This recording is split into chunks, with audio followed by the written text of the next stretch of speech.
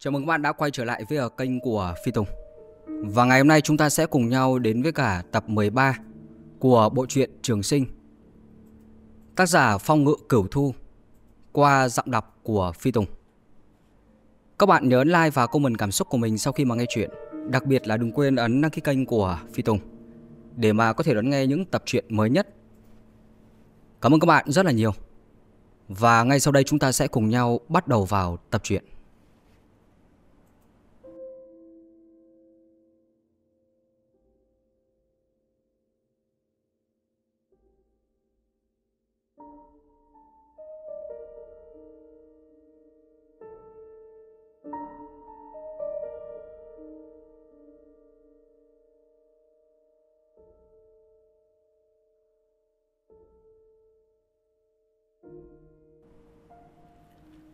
Lại nói thì uh, Trường Sinh ngủ một giấc với đầu óc đầy sự nghi vấn. Sáng sớm hôm sau, có tăng nhân mang bữa sáng đến, tiện thể thu dọn bát đũa tối hôm qua. Người đưa cơm là một tăng nhân trẻ tuổi, thái độ khá là cung kính. Trường Sinh biết người này không thể tự quyết định nên không nói nhiều về hắn. Ăn sáng xong, kiên nhẫn đợi đến giờ thìn. Vị thủ pháp thượng sư cuối cùng cũng đến, nhưng không phải đến một mình mà dẫn theo tiểu béo tử đến cùng. Hộ pháp thượng sư sau khi vào cửa liền đi thẳng vào vấn đề. Nói ngắn gọn, Chỉ nói trường sinh không có duyên với cả Phật môn. Chùa cách lỗ cũng chẳng cưỡng cầu. Lúc này chùa cách lỗ đã phái đội nghi trượng đi đón Pháp Vương. Đội nghi trượng thì có rất nhiều người, Còn có cả kiệu Pháp tòa nặng nề. Đến đây ít nhất cũng phải mất 7 ngày, Cho nên bọn họ phải ở lại phủ Thứ sử Du Châu này một thời gian. Bây giờ thì bọn họ đã xác định được Pháp Vương Và cũng phái người đi đón cha mẹ của Pháp Vương đến mà tiểu béo tử Pháp Vương này thì rất có duyên với cả trường sinh. Nên là trong thời gian chờ đợi đội nghi trượng và cha mẹ của tiểu béo tử đến, Thì ờ, xin phép trường sinh ở lại đây để mà bầu bạn với cả tiểu béo tử. Cho đến khi mà mọi người lên đường đi về phía Tây, Khi đó sẽ tặng lộ phí rồi phái xe ngựa đưa hắn đến nơi hắn muốn. Hộ Pháp Thượng Sư nói xong thì trường sinh không lập tức đồng ý. Hắn cảm thấy việc này có chút kỳ quặc. Nói thật thì hắn và tiểu béo tử không có gì thân thiết cả chỉ là tối hôm qua thì tạm thời dẫn tiểu béo tử đi một lúc. Hắn cũng không hiểu tại sao mà hộ pháp thượng sư lại muốn giữ hắn ở lại đây như vậy. Thấy trường sinh vẫn còn do dự, Vị hộ pháp thượng sư lại nói, Gặp nhau chính là duyên phận. Tiểu thí chủ, chân cẳng bất tiện như vậy, Ta và mấy vị sư đệ đã thương lượng rồi. Trước khi chia tay, Thì bốn người chúng ta sẽ cùng nhau phát công, Dùng thần công Phật môn để mà chữa lành vết thương cho tiểu thí chủ. Sao? Các vị có thể chữa khỏi chân cho ta ư? Trường sinh kinh ngạc sừng sốt. Có thể. Hộ pháp thượng sư mỉm cười gật đầu. Trường sinh nghe xong vui mừng khôn xiết liên tục nói lời cảm ơn. Hộ pháp thượng sư khiêm tốn đáp lễ, sau đó để lại tiểu béo tử xoay người mà đi. Sau khi mà hộ pháp thượng sư đi rồi, tiểu béo tử không còn phải chậm chạp đần độn nữa, lén lút nhìn ra ngoài qua khe cửa, đợi cho hộ pháp thượng sư đi xa, rồi quay lại nói với cả trường sinh. Này, huynh què Đệ thấy cái đám hòa thượng này không giống người tốt đâu. Nhìn thấy vết máu ở trên đầu của tiểu béo tử, Trường sinh không nhịn được mà hỏi, Tại sao đệ lại nói như vậy? Thì đệ đang ở nhà yên ổn như vậy, Đột nhiên bị bọn họ đến bắt đi. Tiểu béo tử nói, Mà còn tối hôm qua nữa, Đệ đâu có bôi nước tiểu lên tay của huynh đâu. Thế mà cái lão hòa thượng này Ăn không nói có. Ánh sáng mà huynh phát ra còn sáng hơn cả đệ nữa. Đáng nhẽ cái chức pháp vương này thì huynh phải làm. Bọn họ cứ bắt đệ làm, Đệ thấy bọn họ chẳng có ý tốt gì cả. Nghe thấy tiểu béo tử nói như thế, Trường sinh lúc này mới phát hiện Mình đã đánh giá thấp hắn rồi. Tò mò hỏi, Thế ờ, đệ tên gì? Ở nhà làm nghề gì? Đệ tên là Đinh Đại Trung. Cha đệ buôn bán, Nhà đệ có nhiều tiền lắm. Tiểu béo tử nói. Tiểu béo tử vừa nói xong thì trường sinh gật đầu. Thảo nào mà tiểu béo tử có thể nói ra những cái lời này, Thì ra là con trai của thương nhân. Này, huynh què? Hay là chúng ta lén chạy trốn đi? Tiểu béo tử nói nhỏ. Huynh sẽ đưa đệ về nhà. Mẹ đệ sẽ cho Huynh rất là nhiều vàng bạc đó. Tại sao lại là mẹ đệ cho, Mà không phải là cha đệ cho chứ? Trường sinh cười hỏi thì là cha đệ đồng ý cho bọn họ đưa đệ đi mà. Mẹ đệ thì không đồng ý. Tiểu béo tử trả lời. Ồ, ra vậy sao? Trường sinh cười. Có được không? Huỳnh đưa đệ về nhà đi mà. Tiểu béo tử sau đó thì khóc lóc thảm thiết. Nhưng mà đệ muốn về nhà như vậy nhiều làm gì? Họ sẽ không làm hại đệ đâu mà lo. Trường sinh nói. Tại vì nếu đệ không về Alan sẽ nhớ đệ lắm. Và đệ cũng nhớ nàng ấy nữa. Tiểu béo tử thở dài. Alan ư? Là ai vậy? Trường sinh cười mà hỏi. Alan là vợ sắp cưới mà cha đệ đã định cho đệ đó. Hơn đệ 2 tuổi, Cực kỳ là xinh đẹp. Tiểu béo tử đắc ý nhau mắt. Thời gian này thì việc đính hôn rất là sớm. Những gia đình giàu có như là tiểu béo tử lại càng sớm định chuyện hôn nhân. Mà vừa nhắc đến Alan, Thì tiểu béo tử càng nói nhiều hơn. Nói người ta xinh đẹp, Nói người ta cười đến có lúm đồng tiền. Rồi còn nói bàn tay nhỏ nhắn trắng nón nữa. Thấy tiểu béo tử nói hăng say như vậy, Trường sinh bắt đầu lo lắng cho hai vạn tăng chúng và vô số tín đồ cư sĩ của chùa cách lỗ. Tục ngữ có nói rồi, Ba tuổi xem già, Vị pháp phương này có phải là hơi không ổn thì phải. Mà thấy trường sinh không nói gì, Tiểu béo tử hoàn hồn lại, Sau đó lại cầu xin hắn đưa mình về nhà. Tiểu béo tử dù sao vẫn còn nhỏ tuổi, Trường sinh chỉ nói một câu Là dù huynh có đưa đệ về Thì họ vẫn sẽ bắt đệ lại thôi. Đã khiến cho cậu bé hoàn toàn tuyệt vọng, Nước mắt thì lưng tròng. Trẻ con thì đều thích có bạn. Có trường sinh ở bên cạnh, Tâm trạng của tiểu béo tử thì khá ổn định. Tiểu béo tử là pháp vương, không thể chạy lung tung được. Chỉ có thể ở lại hậu viện, Ngày ba bữa ăn đều cùng với cả trường sinh. Chỉ có buổi tối đi ngủ thì mới được đưa đi thôi. Cứ như vậy mà hai ngày trôi qua. Đến sáng sớm ngày thứ ba, Tiểu béo tử lại được đưa đến, Mang theo một đoạn da bò. Còn lấy trường sinh để hắn làm ná bắn chim cho mình. Đệ là hòa thượng, Đừng có sát sinh. Trường sinh không đồng ý. Huynh cứ làm cho đệ đi mà. Làm xong đệ sẽ nói Huynh một bí mật cực kỳ hay. Tiểu béo tử thần thần bí bí nói. Đệ thì biết được cái gì? Bí với trả mật. Trường sinh khinh thường nói. Ơ kìa, đệ thật sự biết mà. Tiểu béo tử ghé sát tai trường sinh nói nhỏ. Tối qua ấy, đệ lại tè dầm đó Đệ tè dầm thì có gì là bí mật chứ? Trường sinh ngắt lời tiểu béo tử. Không phải, Đệ chưa nói hết mà. Đệ tè dầm xong thì tỉnh dậy. Vừa hay thì nghe thấy mấy lão hỏa thượng kia đang nói chuyện với nhau. Tiểu béo tử nói, Sao? Họ nói gì chứ? Trường sinh hỏi. Họ đang bàn bạc cách chữa chân cho Huynh đó. Còn nói rằng là đêm đó Huynh à, phát ra không phải là ánh sáng Phật, Mà là ánh sáng hà đó. Tiểu béo tử nói, Ánh sáng hà? Ánh sáng hà là cái gì? Trường sinh không hiểu. Thì đệ cũng chẳng hiểu. Nghe ý của bọn họ thì Huynh còn lợi hại hơn cả đệ nữa. Nhưng mà chúng ta không cùng một con đường. Sao? Cái gì không cùng một con đường? Trường sinh thuận miệng hỏi lại. Đệ không biết. Đệ chỉ nghe được vài câu. Bọn họ biết là đệ tỉnh dậy nên là không nói gì nữa. Tiểu béo tử lắc đầu. Thôi được rồi. Bí mật thì đệ đã nói cho Huynh rồi. Bây giờ Huynh mau làm ná thun cho đệ đi. Nhưng mà Huynh đã nói rồi, Đệ là hòa thượng không được sát sinh. Trường sinh xua tay.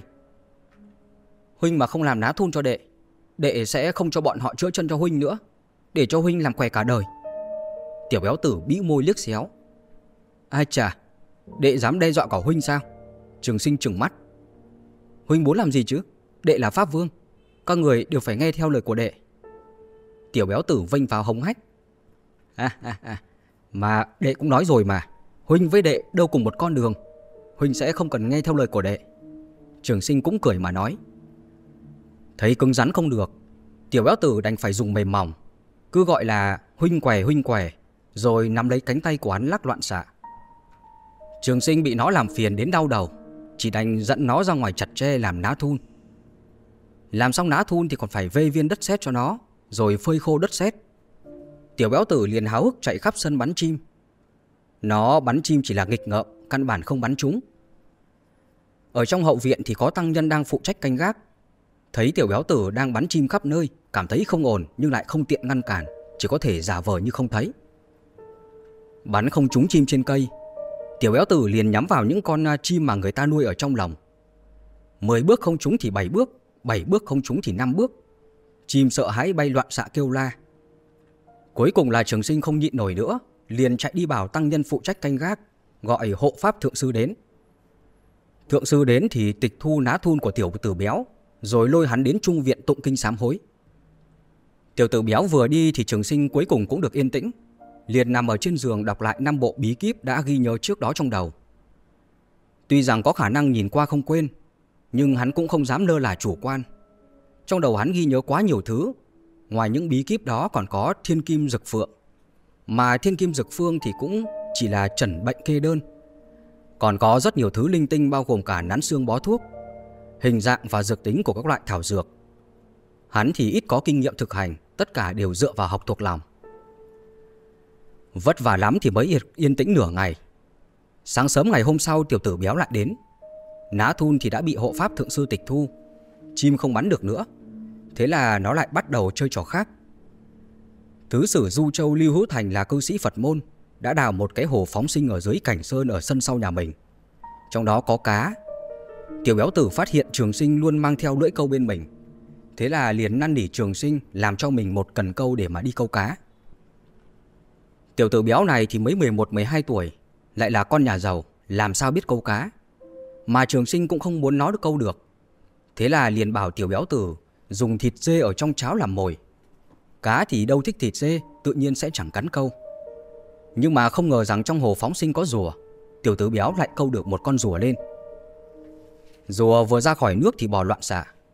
Tiểu tử béo vừa phấn khích vừa sợ hãi, sợ bị cắn mà không muốn vứt cần câu. Thế là liền gọi trường sinh đến tháo giúp lưỡi câu. Rùa mà vội thì sẽ cắn người, trường sinh nào dám động thủ. Tiểu tử béo thì bất lực, chỉ đành sách con rùa chạy đến trung viện nhờ tăng nhân giúp đỡ. Đi một lần rồi chẳng thấy quay trở lại nữa.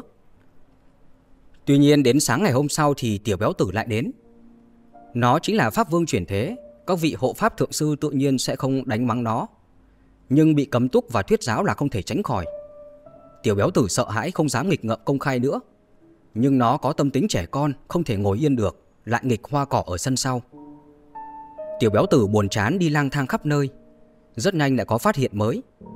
Nó lén lút kéo trường sinh đến góc đông bắc của sân sau, nơi có một ngôi Phật đường là nơi nữ quyến nhà họ lưu tụng kinh.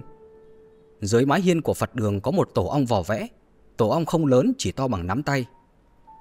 Tiểu béo tử kéo trường sinh đến thì đương nhiên là xúi dục hắn chọc tổ ong rồi. Nhưng mà trường sinh lớn hơn nó, là có nghe lời nó. Chỉ nói ong vỏ vẽ đốt người không thể nghịch ngợm được. Thấy trường sinh không động thủ, tiểu tử béo liền dùng kế khích tướng, nói trường sinh là đồ nhát gan, ngay cả đến tổ ong cũng chẳng dám chọc. Trường sinh chỉ nói một câu Huynh không dám chọc Vậy đệ dám chọc không? Khiến cho tiểu béo tử tiến thoái lưỡng nan Chỉ đành cắn răng mà nói Đệ đương nhiên dám chứ Đệ sẽ trốn trong nhà Dùng gậy chọc thủng giấy cửa sổ Như vậy thì ong vò vẽ sẽ không thể đốt đệ được. Thôi bỏ đi Đừng nghịch ngợm nữa. Bị ong vò vẽ đốt không phải là chuyện đùa đâu. Trường sinh cũng không muốn tiểu béo tử bị đốt, Liền kéo nó về chỗ ở. Trường sinh trong đầu ghi nhớ quá nhiều thứ, Thích một mình ngồi được lâu, Nhưng tiểu béo tử thì không. Vừa ăn cơm trưa xong liền chạy ra ngoài. Trước khi đi còn không quên căn dặn trường sinh, Là lát nữa nghe thấy tiếng hắn kêu Thì đừng có ra ngoài. Trường sinh đang hồi tưởng thiên kim dực phương, Liền thuận miệng đáp lại một câu Cũng chẳng để tâm lắm.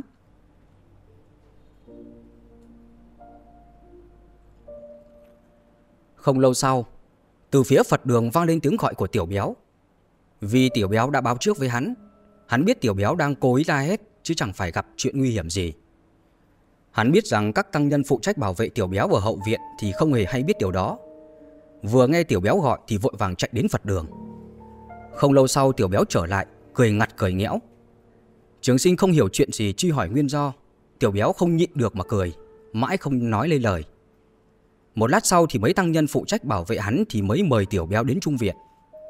Thấy họ đều bị thương, Đầu thì sưng u cả lên. Trường sinh mới biết tiểu béo đã làm trò gì. Và cũng đúng như dự đoán Thì chiều hôm đó tiểu béo lại không về. Sáng sớm hôm sau tiểu béo lại được tự do. Nhưng mà nó không thừa nhận mình đã chơi khăm hôm qua. Chỉ nói là đang thử võ công của mấy tăng nhân kia. Còn chê bai võ công của họ chẳng tốt, Đến cả ong vỏ vẽ cũng chẳng chạy thoát. Người đúng thật là Họ đi cứu ngươi Ai ngờ ngươi lại hại người ta như vậy. Trường sinh lắc đầu mà nói Ai, Nếu ta không nói trước với Huynh Thì Huynh cũng không tránh khỏi bị đốt đâu. Tiểu béo tử tỏ vẻ khinh thường Ta nghĩa khí như vậy Huynh lại chẳng biết điều. Không phải là ta không biết điều Nhưng họ đều là thuộc hạ của ngươi Ngươi phải đối xử thật tốt với họ chứ. Trường sinh nói Nhưng tại vì họ không nghe lời ta nếu để ta ra ngoài chơi, Ta sẽ không tính kế họ đâu. Tiểu béo tử không cho là đúng. Trường sinh bất lực lắc đầu. Tiểu béo này thân phận tôn quý, Hiện giờ lại không có linh khí tu vi. Để đảm bảo an toàn cho hắn, Ai mà dám thả hắn ra ngoài chứ? Tiểu béo thì không chịu ở trong phòng. Nhất định là phải đòi trường sinh đi dạo trong sân cùng với cả nó. Trường sinh đã hứa với cả hộ pháp thượng sư ở lại đây, Mục đích là để bầu bạn với cả tiểu béo. Không thể là không quan tâm đến tên này được. Bất đắc dĩ chỉ đành cùng nó ra ngoài chơi. Tiểu béo tử bẻ một cành cây cầm lên tay. Đi dọc đường ở trong bồn hoa có hoa, Liền dùng cành cây hất dụng cả hoa. Lo lắng cho nó gây ra chuyện, Lại bày trò gì đó. Hộ pháp thượng sư chỉ đành sai người đem cần câu đã tịch thu trước đó trả lại. Dặn đi dặn lại, Chỉ nói là câu cá thì được, Nhưng mà ngàn vạn lần đừng có câu rùa. Tiểu béo câu cá, Trường sinh ngồi bên cạnh. Vừa câu cá vừa nói chuyện phiếm. Tiểu béo tuy nghịch ngợm nhưng mà không có tâm cơ. Chuyện gì cũng nói với cả trường sinh cả. Kể cả cái việc à, nó đến đây như thế nào Thì cũng nói hết với cả trường sinh. Rồi cha nó là một thương nhân Gia sản khá giả nhưng mà mãi chẳng có con. Ban đầu còn tưởng mẹ nó là không thể sinh nở Nên à, cha của nó lại cưới thêm một phòng thiếp Nhưng thiếp cũng chẳng sinh được con. Sau đó thì huyện thành gặp nạn. Cha của nó đã bỏ ra hơn nửa gia sản để mà mở quán cháo Cứu tế nạn dân. Cứu được rất nhiều người năm đó. Rồi năm đó thì à, mẹ của nó có thai, Sinh ra nó. Tiểu béo cũng không chỉ nói về mình, Mà còn hỏi thăm tình hình của trường sinh nữa. Trường sinh cũng chẳng giấu giếm, Kể sơ lược cho nó nghe một số chuyện trước khi mà gặp Lâm đạo trưởng. Biết được trường sinh là trẻ mồ côi, Tiểu béo rất là thương cảm cho hắn. Bảo trường sinh cứ yên tâm đi, Nó nhất định sẽ để mấy vị hộ pháp thượng sư chữa khỏi chân cho hắn.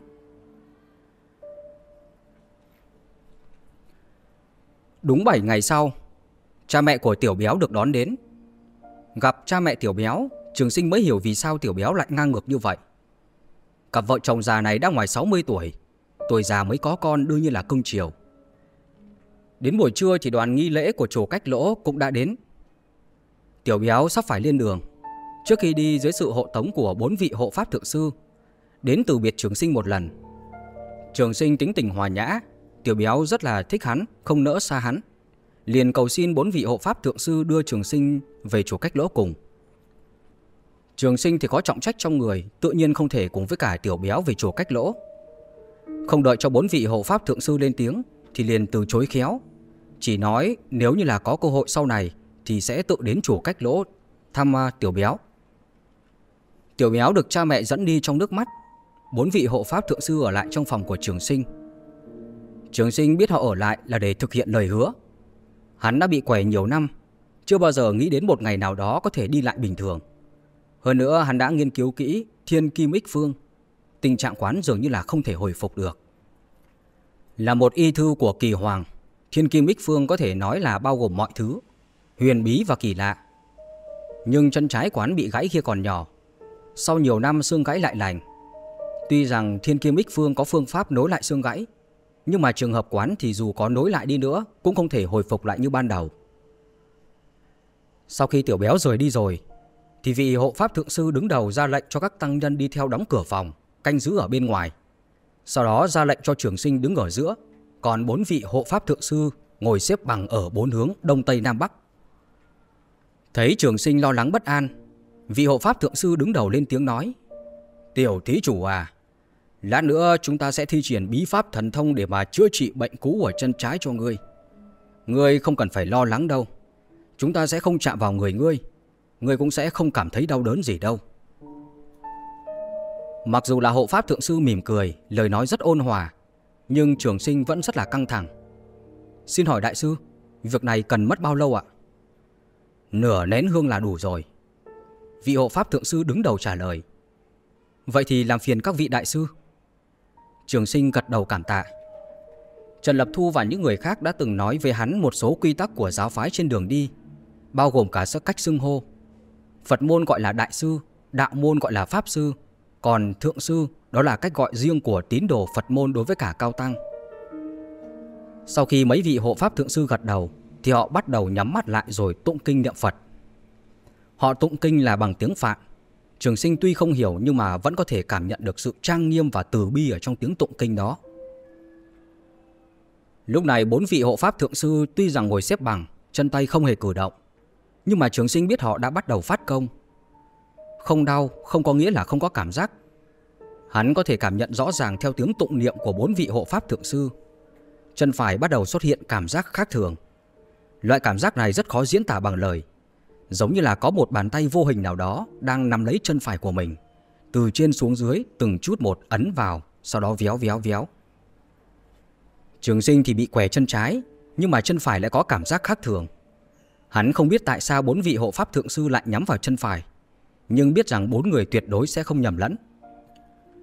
Cái cảm giác khác thường đó biến mất sau khi mà đến mắt cá chân. Sau đó đến chân trái bắt đầu xuất hiện cảm giác khác thường, cũng là từ trên xuống dưới ấn và véo. Đến lúc này thì trường sinh mới hiểu tại sao bốn người lại ra tay từ chân phải. Họ là muốn xác định chiều dài và kích thước xương chân phải, rồi lấy chân phải làm tham chiếu để mà phục hồi chân trái.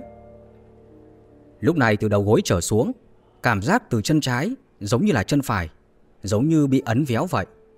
Nhưng mà khi chạm vào chỗ xương gãy thì chân trái bắt đầu xuất hiện cảm giác tê mạnh. Khác với việc tê bình thường, tê bình thường chủ yếu đến từ kinh mạch, còn tê lúc này lại tập trung ở chỗ xương gãy. Theo cảm giác tê từ từ di chuyển xuống dưới, tiếng tụng kinh của mấy vị hộ pháp thượng sư cũng càng lúc càng nhanh hơn. Bốn vị thượng sư đều nhắm mắt lại, nhưng trường sinh thì mở mắt. Tuy hắn không biết bốn vị hộ pháp thượng sư phát công như thế nào, nhưng rằng biết lúc này bốn người cũng không dễ chịu gì. Trên trán mỗi người đều có mồ hôi chảy ra, trên đỉnh đầu ẩn hiện hơi à, nước trắng. Một lát sau thì cảm giác tê biến mất, bốn người đồng thời giơ tay xoay vòng, thu khí kết thúc. Vị hộ pháp thượng sư đứng đầu mở mắt trước. Sau khi thở ra một hơi thì từ từ mỉm cười giơ tay lên. Đại công cáo thành rồi, tiểu thí chủ có thể thử đi lại xem. Trường sinh trong lòng căng thẳng lắm, quay đầu nhìn vị hộ pháp thượng sư đứng đầu. Người sau lại giơ tay động viên, trường sinh lúc này mới thử đi một bước. Què, vẫn hoàn què. Trong lòng hắn nghi hoặc, lại thử đi vài bước, vẫn khập khiễng. Tuy nhiên so với cả lần khập khiễng trước thì lần khập khiễng này lại là một cảm giác hoàn toàn khác. Khác với sự căng thẳng của trường sinh thì vị hộ pháp thượng sư đứng đầu rất là tự tin. Tiểu thí chủ bị bệnh nhiều năm, đã quen đi lại khập khiễng, bệnh mới khỏi, nhất thời khó thích ứng. Cứ từ từ vận động nhiều, lâu ngày sẽ quen thôi. Hộ pháp thượng sư vừa nói xong, trường sinh chợt hiểu ra vấn đề. Vốn là định trịnh trọng cảm ơn, nhưng mà lời đến bên miệng lại nuốt xuống. Tuy rằng hắn không biết để mà chữa khỏi chân cho hắn, thì bốn vị thượng sư của cách lỗ này đã phải tự trả giá như thế nào. Nhưng biết hành động này của bốn người tuyệt đối không phải là chuyện dễ dàng, mà chính là sử dụng Phật Pháp thần thông huyền bí. Nếu không vị hộ Pháp Thượng Sư đứng đầu tuyệt đối sẽ không nói đại công cáo thành. Đúng là đại ân này thì không lời nào có thể cảm ơn hết được. Nếu chỉ là một lời nói cảm ơn bằng miệng thì có vẻ là quá nhẹ nhàng. Bốn vị hộ Pháp Thượng Sư đứng dậy. Vị hộ Pháp Thượng Sư đứng đầu chắp tay chào tạm biệt trường sinh.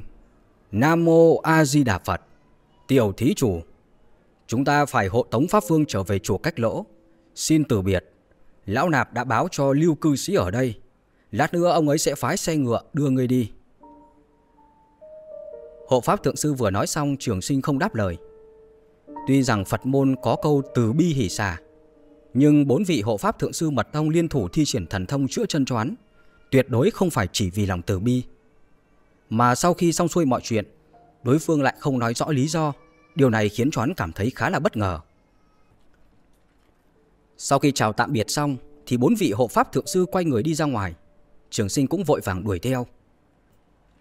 Trong khoảnh khắc bước qua ngưỡng cửa, Trường sinh đột nhiên lóe lên một tia sáng. Chợt hiểu ra, Trước đây khi mà chọn lựa linh đồng chuyển thế, Khi hắn và tiểu béo chạm vào xá lợi Phật, Xá lợi đều tỏa ra ánh sáng rực rỡ, Mà tiểu béo cũng từng nghe lén được trò chuyện của mấy người, Nói hắn là một nhân vật lợi hại, Chỉ là không cùng đường với cả tiểu béo. Hiện nay Trung Thổ có hai giáo phái lớn, Ngoài Phật môn ra thì chính là đạo gia. Ý ngoài lời của mấy vị hộ pháp thượng sư Là hắn có duyên với đạo gia, Thiên phú dị bẩm và tạo hóa cực kỳ cao. Đến đây thì hắn mới hiểu tại sao khi mà ở Vương Gia Thôn lại có nhiều thiên lôi xuất hiện ở bên cạnh. Những thiên lôi đó không phải là mưa rông bình thường, mà là thiên lôi độ kiếp, là dị loại độ kiếp mượn khí số của hắn để mà che chở tránh thiên kiếp. Cái ngày bái sư thì sư phụ chỉ nhận hai lạnh của hắn rồi ngăn hắn tiếp tục quỷ lại. Rất có thể là đã nhận ra tạo hóa bẩm sinh của hắn không chịu nổi đại lễ ba lạnh của hắn. Nghĩ đến những điều này, hắn cũng hiểu tại sao mấy vị hộ pháp thượng sư lại để hắn ở chung với cả tiểu béo 7 ngày. Và cũng hiểu tại sao mấy vị thượng sư lại giúp hắn chữa chân. Mấy vị thượng sư này muốn hắn kết bạn với tiểu béo. Hơn nữa khi hắn chưa lộ rõ tài năng thì ra tay giúp đỡ, kết thiện duyên. Lúc này đây thì mấy vị thượng sư đã ra ngoài trung sảnh hướng tới trung viện. Trường sinh thì vẫn đi theo phía sau. Tuy hắn đã hiểu được ý đồ của hộ ờ, pháp thượng sư, nhưng hắn không hề coi thường họ. Có hai nguyên nhân. Một là đạo Phật từ xưa đến nay bất hòa, tranh đấu lẫn nhau.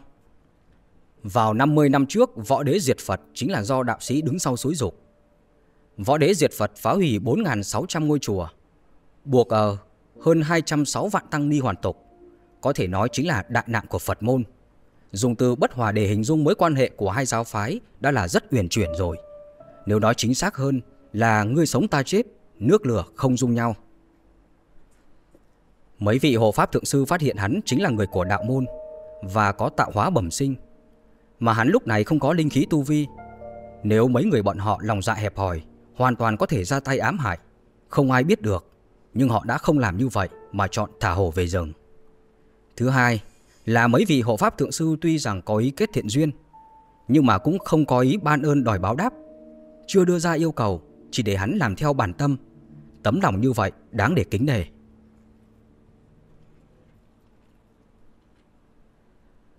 Lại nói, trong khoảng thời gian đi theo mọi người ra cổng phủ thứ sử, trường sinh vẫn luôn nghĩ xem nên nói gì với cả mọi người.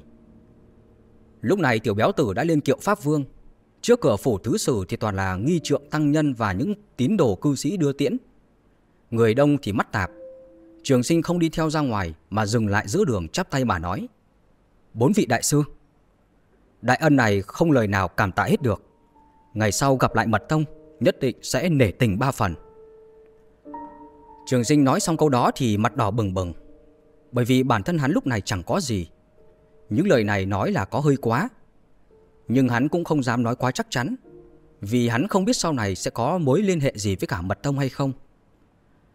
Dù là trong lời nói của trường sinh có chút rẻ rặt, Nhưng mấy vị hộ pháp thượng sư vẫn mặt lộ vẻ vui mừng, Đồng thời dừng người quay lại, Hành lễ chào tạm biệt. Nam Mô A Di Đà Phật, Tiểu Tý chủ, bảo trọng. Hai bên hành lễ chào tạm biệt. Bốn vị hộ pháp thượng sư vui vẻ ra về. Nếu như trường sinh nói quá chắc chắn, Họ ngược lại không dám tin tưởng hoàn toàn. Cũng chính vì trường sinh không nói hết lời, Mà chỉ nói rõ chỉ là nể tình mật tông, Ngược lại chứng minh hắn thành tâm thành ý, Nghiêm túc trịnh trọng. Bốn vị hộ pháp thượng sư đi ra ngoài, Đoàn nghi lễ mấy trăm người trong tiếng nhạc Phật Và những tiếng tụng kinh lên đường đi về phía Tây. Trường sinh đứng ở sân trước, Tiễn tiểu béo và mọi người rời đi. Đồ đạc quán thì vẫn còn ở sân sau. Sợ bị mất nên là không dám chậm trễ. Không đợi cho đoàn nghi lễ đi hết Thì đã quay lại sân sau, Bắt đầu thu dọn đồ đạc của mình. Thực ra hắn cũng chẳng có nhiều đồ đạc. Sau khi thu dọn đơn giản xong, Thì hắn bắt đầu đi đi lại lại ở trong phòng. Hộ pháp thượng sư nói đúng. Lúc này hắn không tiện đi Là bởi vì bị què nhiều năm, Đã quen đi cả nhắc. Đột nhiên khỏi hẳn lại đi bình thường có chút khó chịu. Tuy nhiên nói không vui thì là nói dối không ai muốn chính mình là người què cả. Cái món quà lớn này của chùa cách lỗ thật sự là quá nặng. Không biết đến năm nào, tháng nào, hắn mới có thể có cơ hội báo đáp họ. Đợi mãi mà không ai đến, Trường sinh cũng không rốt ruột. Bởi vì hắn biết rằng trong mắt các tín đồ Phật giáo, Pháp phương giống như thần linh. Thứ sử lưu đại nhân không tiễn đoàn nghi lễ ra khỏi thành Thì sẽ không quay lại. Cho đến gần buổi trưa, Lưu đại nhân quay trở về. Trước đó vị hộ pháp thượng sư đứng đầu đã dặn dò ông sau khi đưa tiễn Pháp Vương đi, Lưu Đại Nhân đích thân đến gặp hắn. Hỏi thăm nơi đến, sắp xếp xe ngựa, lương khô và quần áo, cũng đều đã chuẩn bị choán đầy đủ. Từ đây đến các tạo sơn cũng chỉ có thể đi đường thủy, đi đường bộ thì quá xa.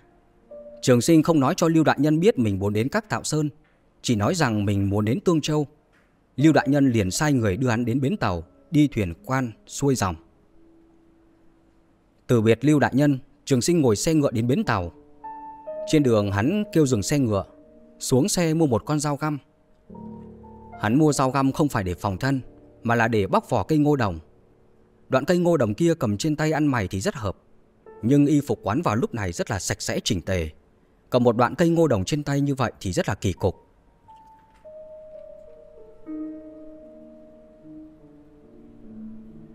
Lại nói thì à, trường sinh biết Trung Thổ có một con sông rất lớn, nhưng hắn chưa bao giờ tận mắt nhìn thấy. Lần đầu tiên nhìn thấy Trường Giang, trong lòng rất là nhiều kinh ngạc. Lúc này đang là mùa mưa, nước sông dâng cao, dòng chảy rất xiết, quần quận chảy về phía đông. Thực ra điểm đến của hắn không phải là Tương Châu mà là Cam Châu ở Hạ Lưu. Thật là trùng hợp, ở trên bến tàu có một chiếc thuyền quan đi Cam Châu. Nhà dịch của quan phủ đưa hắn lên thuyền, tìm thấy quan viên áp tải lương thảo, chỉ nói hắn là họ hàng của thứ sử Lưu Đại Nhân muốn đi Tương Châu nhờ. Quan viên áp tải lương thảo hơn 30 tuổi, tên là bà Tổ Văn. Biết trường sinh là họ hàng của Lưu Đại Nhân, liền nhiệt tình mời hắn lên thuyền, đồng thời xếp chỗ ở cho hắn. Chiếc thuyền quan này rất là lớn, ba tầng trên dưới, một lần có thể chở hơn nghìn gánh lương. Trường sinh lên thuyền vào buổi chiều. Hắn không phải người duy nhất đi nhờ thuyền. Ngoài hắn ra thì có gần trăm người đi nhờ thuyền, đa số là nhà của quan viên, cũng có một số ít thương nhân. Đến lúc trời chập choạng tối, khoang thuyền đã đầy. Thuyền trưởng gõ ba tiếng chiêng, thuyền lớn nhổ neo khởi hành. Đây là lần đầu tiên trường sinh đi thuyền. Hắn rất tò mò. Sau khi thuyền khởi hành, hắn đi đi lại lại trên bong tàu, nhìn lên nhìn xuống, nhìn trái rồi lại nhìn phải. Con thuyền quan này có tổng cộng là 3 tầng. Ba tầng dưới là nơi chứa hàng hóa và chèo thuyền. Tầng trên cùng là nơi ở của mọi người. Có hàng chục phòng lớn nhỏ, nhưng phòng trên thuyền đều rất là nhỏ, hơi chật trội. Vì vậy mà mọi người ở trên thuyền đều đứng ở trên bong tàu. Nhân lúc trời chưa tối thì ngắm nhìn cảnh sắc hai bên bờ sông. Những người trên thuyền này đa số đều là người nhà của quan viên. Sau khi lên thuyền khởi hành, những nữ quyến này tụ tập thành từng nhóm 3 năm người, đứng ở khắp nơi trên bong tàu. Lớn như vậy rồi mà trường sinh chưa bao giờ gặp nhiều phụ nữ như vậy. Nói là không có ý đồ xấu thì không phải, nhưng trong lòng tò mò không khỏi liếc nhìn vài lần. Nhà quan đều có nha hoàn, thông qua trang phục có thể phân biệt ai là tiểu thư, ai là nha hoàn. Nhưng cho dù là nha hoàn thì cũng xinh hơn nhiều so với cả phụ nữ nông thôn. Nơi có phụ nữ nhiều thì Trường Sinh cũng không muốn đến và thật lòng hắn cũng chẳng muốn đến. Chỉ có thể đến đuôi thuyền không người, tìm một nơi vắng vẻ ngồi xuống, lấy dao găm ra đẽo vỏ cây ngô đồng.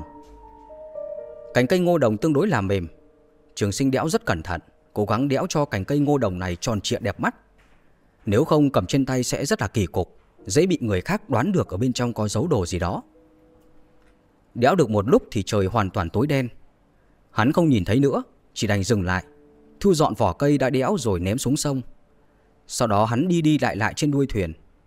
Bị què nhiều năm như vậy đột nhiên bình phục, sự kích động ở trong lòng không khỏi lời lào tả xiết. Vốn dĩ hắn đã chuẩn bị sẵn sàng là một tiên què cả đời, ai ngờ lại gặp được mấy tăng nhân bật tông đó. Được người khác ban ơn thì sẽ có áp lực, hắn cần phải ghi nhớ trong lòng, tìm cơ hội báo đáp người ta. Nhưng sống trên đời ai mà không nhận sự giúp đỡ và ân huệ của người khác chứ? Được người khác ban ơn thì không có gì đáng xấu hổ. Chỉ cần có qua có lại Đừng để người ta giúp đỡ mình thất vọng là được. Nghe thấy tiếng nước chảy ảo ảo Trường sinh lại nghĩ đến võ điển chân cung và những người khác. Hắn hy vọng là sau khi họ rơi xuống nước đều có thể bảo toàn tính mạng. Sau này anh em sư huynh đệ còn có thể gặp lại nhau nữa. Đúng lúc mà trường sinh đang thất thần Thì mạn phải của thuyền Truyền đến tiếng phụ nữ cười nói. Người nói chuyện không biết hắn đang ở đuôi thuyền. Nếu tiếp tục ở lại đây thì sẽ có hiểm nghi nghe lén.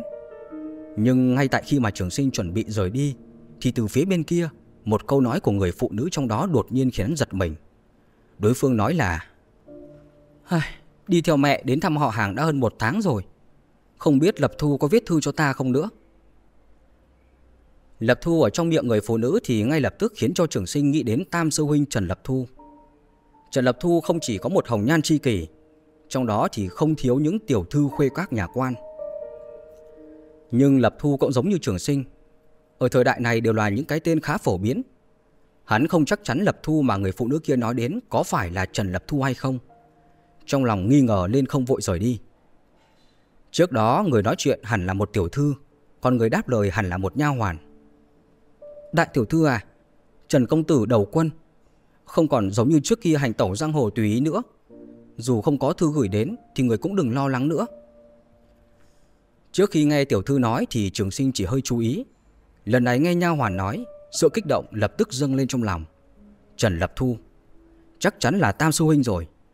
Nghe nha hoàn nói hình như là Trần Lập Thu hiện tại đã đi lính thì phải. Trần Lập Thu tính tình phóng khoáng, Không thích gò bó, Lẽ ra không nên đi lính. Nhưng người trong giang hồ đang tìm kiếm hắn khắp nơi, Trốn vào quân đội chắc chắn là sự lựa chọn tốt nhất rồi. Trường sinh cố gắng kiềm chế sự kích động trong lòng, Tiếp tục nghe lén. Đại tiểu thư kia lo lắng cho Trần Lập Thu, Chỉ nói ra trận đánh giặc rất là nguy hiểm. Còn nha hoàn thì cứ an ủi, Chỉ nói Trần Công Tử võ công cao cường, Lâm trận đối địch cũng có thể bảo toàn tính mạng.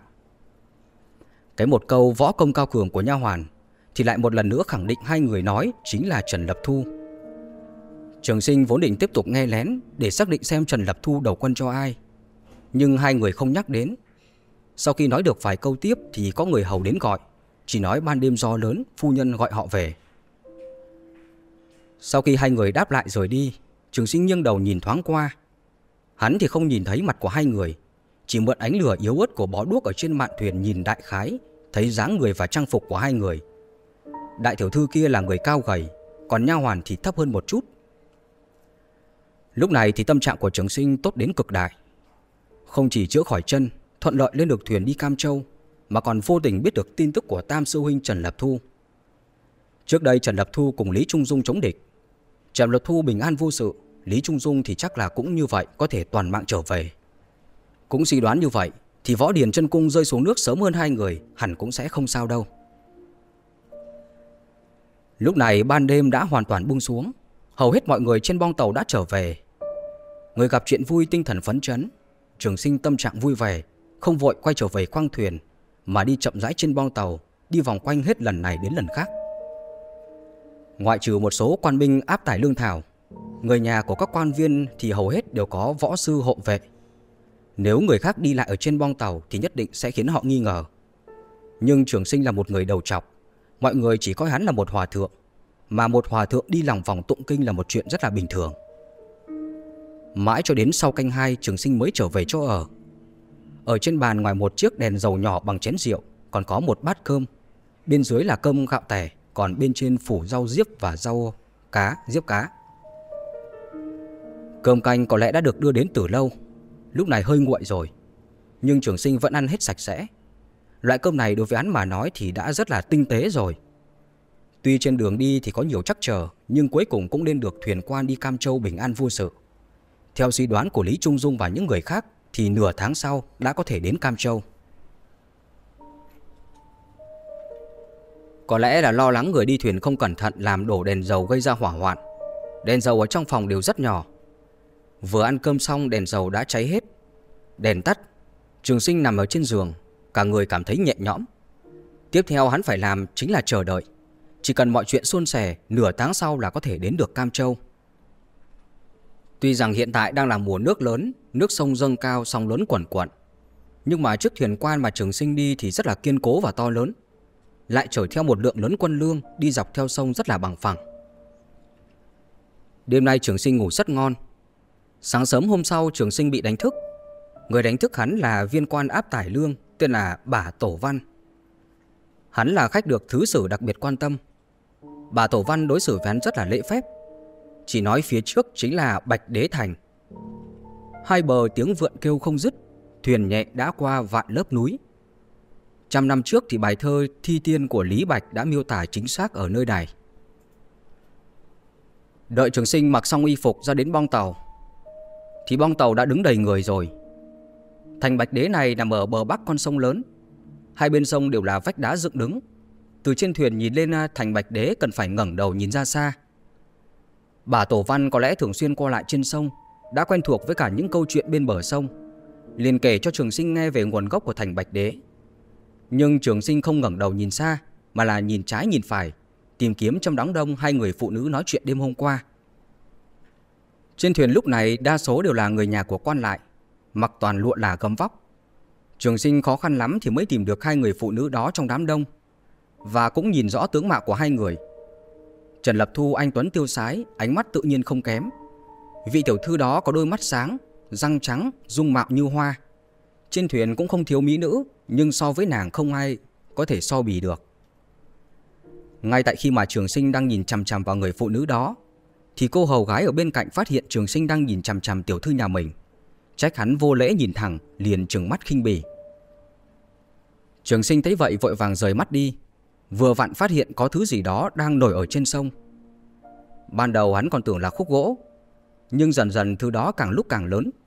Hắn mới phát hiện ra thứ nổi ở trên dưới nước lại là một con rùa khổng lồ màu xám xanh.